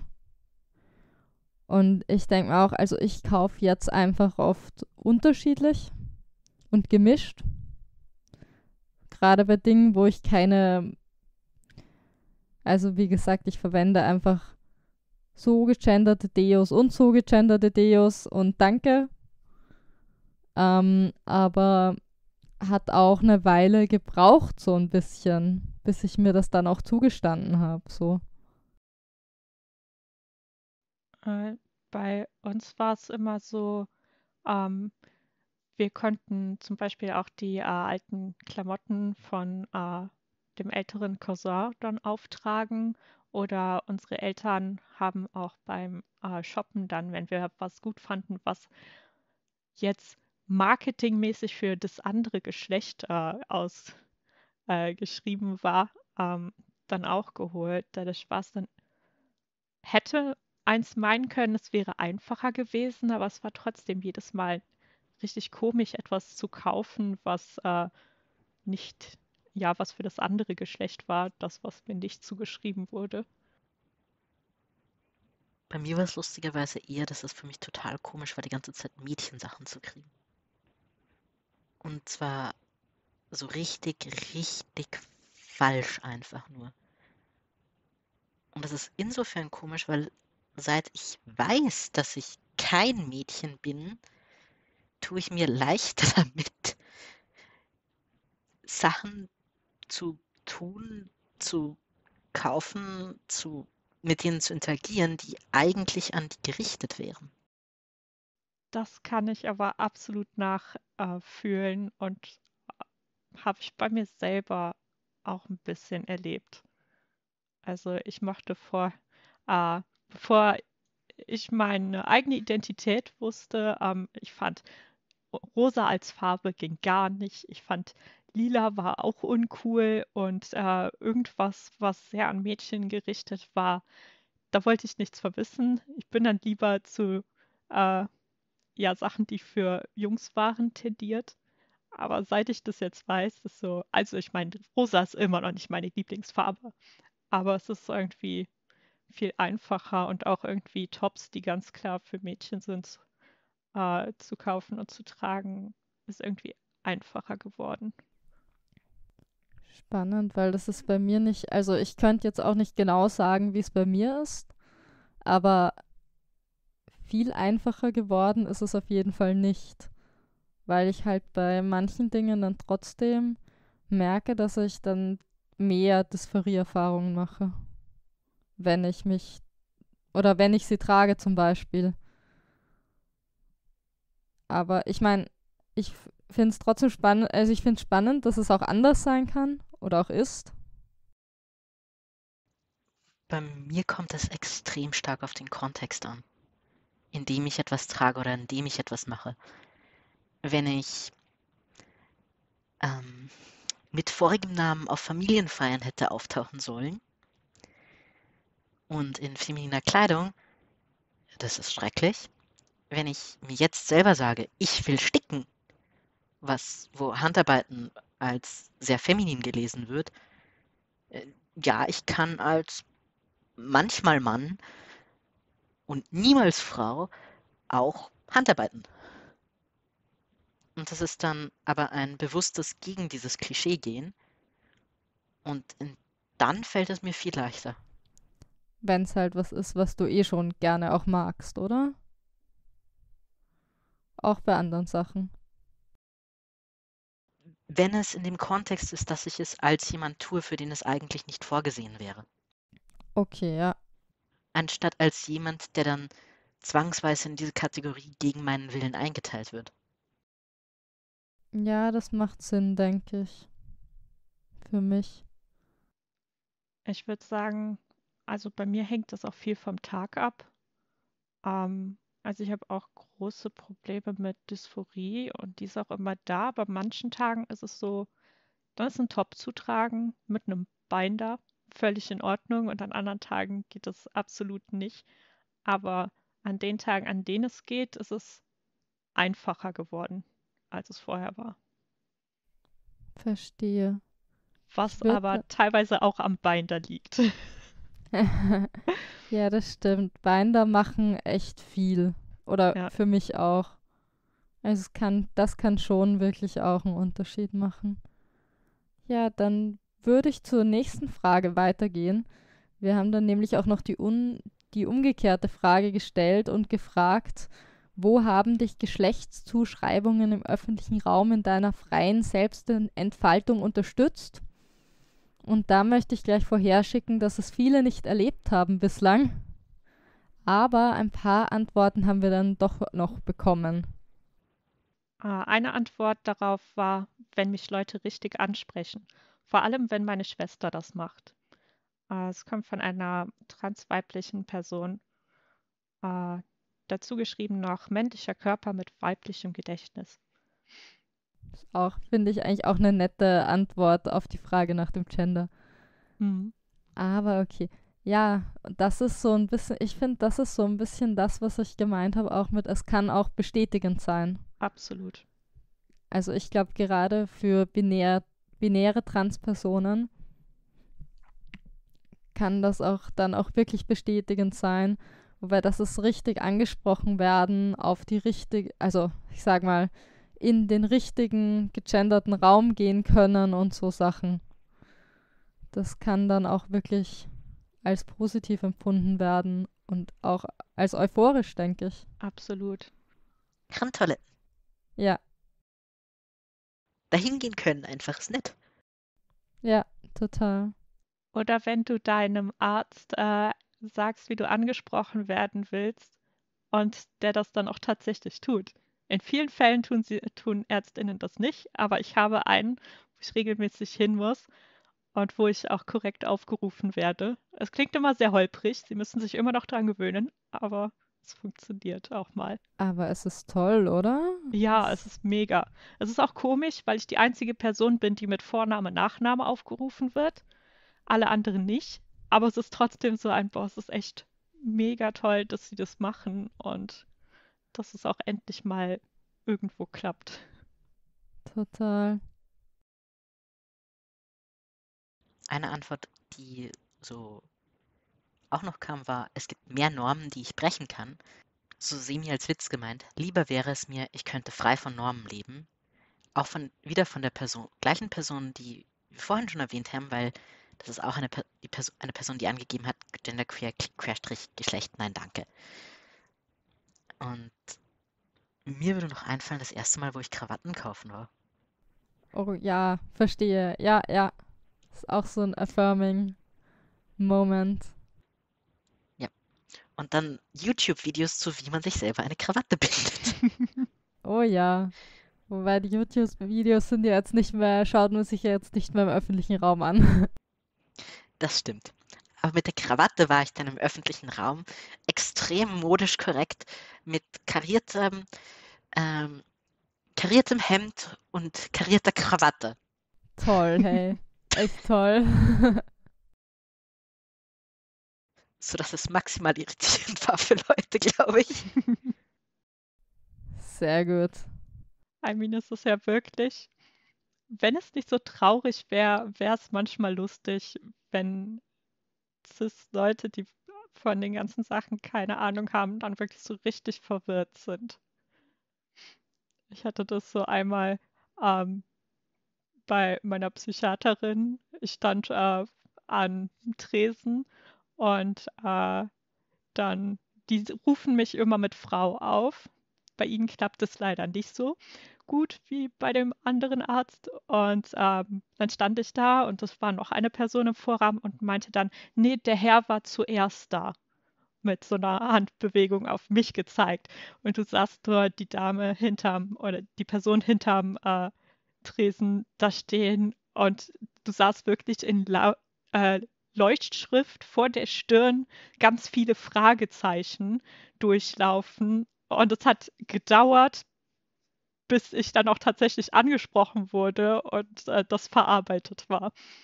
Ich fand das in dem Moment gar nicht so cool, weil, naja, sie sonst immer Frau sagt und es belastend ist, aber als ich das nachher anderen Leuten erzählt habe, fanden sie es dann wieder ganz lustig und so mit ein bisschen Abstand. Ja, Verwirrung dann ist wenigstens etwas. Ich sage mir immer, Verwirrung ist der Ort, wo ich eine Existenz habe dann. Tatsächlich. Ja. Weil das in einem, solange ich binär gegendert werde, eigentlich natürlich bin ich da, aber es trifft mich halt nicht. Mhm. Und diese, der Moment, in dem diese Verwirrung da ist, das macht so einen Spalt auf. So ein bisschen. Ja. Aber in Situationen ist das manchmal schon, ja. Wir haben noch eine letzte Frage. Und zwar, welche positiven Erfahrungen hast du bereits mit Unisex und Unisex-Räumen im öffentlichen Raum gemacht? Genau, und einige der Menschen, die uns geantwortet haben, haben gesagt, sie haben leider noch keine positiven Erfahrungen gemacht. Das war in den meisten Fällen dann, war dann der Grund dafür, dass es in der Nähe einfach keine Unisex-Räumlichkeiten gab oder gibt. Ja, genau. Aber ein paar Antworten haben wir trotzdem bekommen. Und ich würde eine auch mal vorlesen.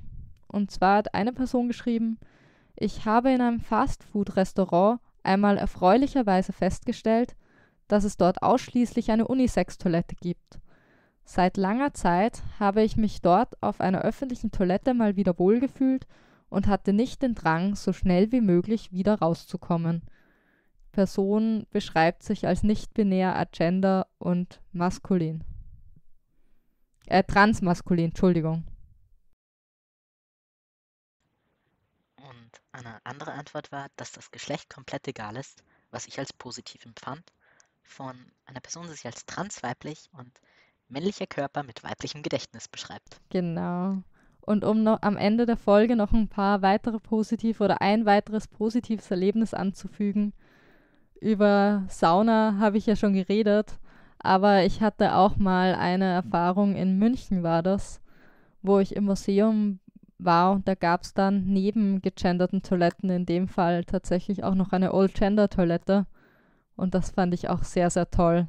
Ich war sehr happy und habe das dann, ich habe das sogar fotografiert und Leuten weitergeschickt, weil ich so happy war.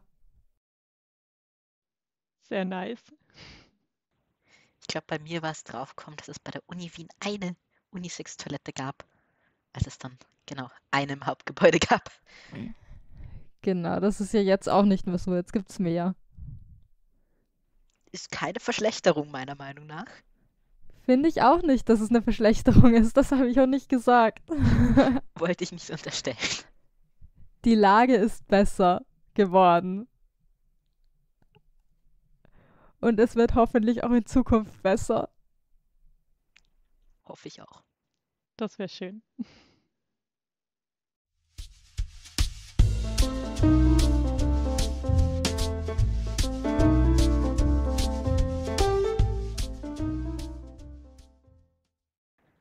Und jetzt zum Lexikon. Das Wort, das ich euch heute mitgebracht habe, ist Genderqueer.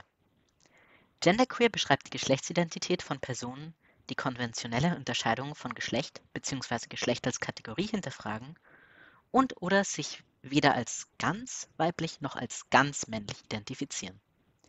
Historisch ist der Begriff älter als nicht-binär und deckt ähnliche Personen ab und entstand in den 90er Jahren auch im Kontext von Queer im Sinne des Queer Movements, bei dem die Zurückweisung binärer Kategorisierung und das Hinterfragen von Geschlechternormen recht zentrale Elemente darstellten und eigentlich immer noch darstellen. Ob und was sich genderqueere Personen in Hinblick auf Transition wünschen und ob sie sich als trans identifizieren, ist so verschieden wie die Leute selbst. Ja, und die Kulturecke habe ich euch heute mitgebracht und ich empfehle euch heute ein Video von MyLab, nämlich wie viele Geschlechter gibt es?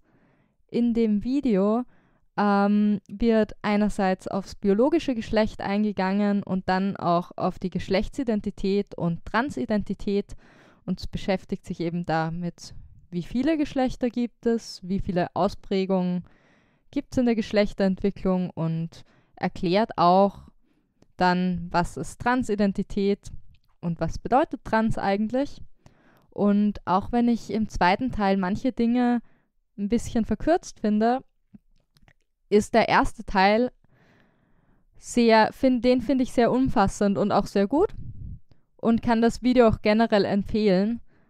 Es dauert 21 Minuten, naja, fast 22 Minuten, aber ja, schaut es euch an, nehmt euch die Zeit.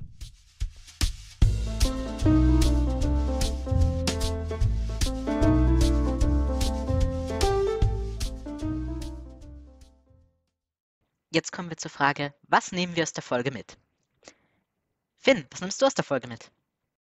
Ja, also ich glaube, was ich mir aus der Folge mitnehme, ist vor allem, dass es einfach ähm, mir auch irgendwo gut getan hat, mich mal darüber auch auszutauschen, über das Thema.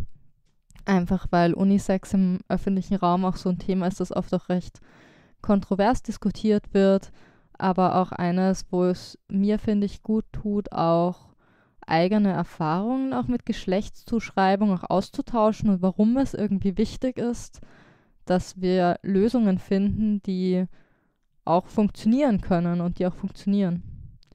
Delphine, was sagst du, was nimmst du dir mit aus der Folge? Ich nehme auf jeden Fall mit, dass MusikerInnen die Leute auf Konzerten nach Sockenfarbe statt Mann und Frau aufteilen sollten. Und aber ansonsten ähm, auf jeden Fall, dass es unglaublich viele Sichtweisen und Erfahrungen auch auf dieses Thema wieder gibt und dass es sehr bereichernd ist, ähm, die Antworten auf die Umfragen zu lesen und darüber hier zu diskutieren und mit euch zu diskutieren. Und Sal, wie es bei dir?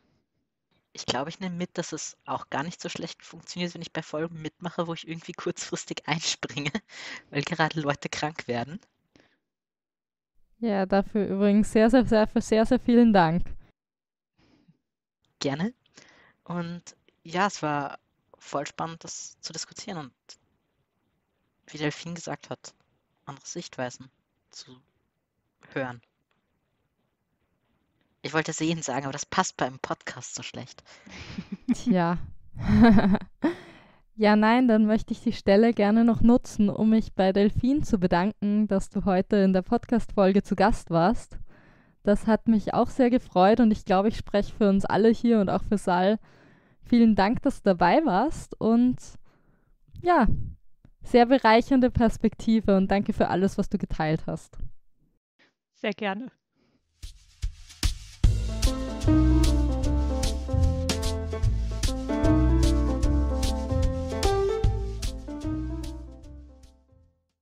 Ja, und damit sind wir auch schon am Ende der Folge angelangt.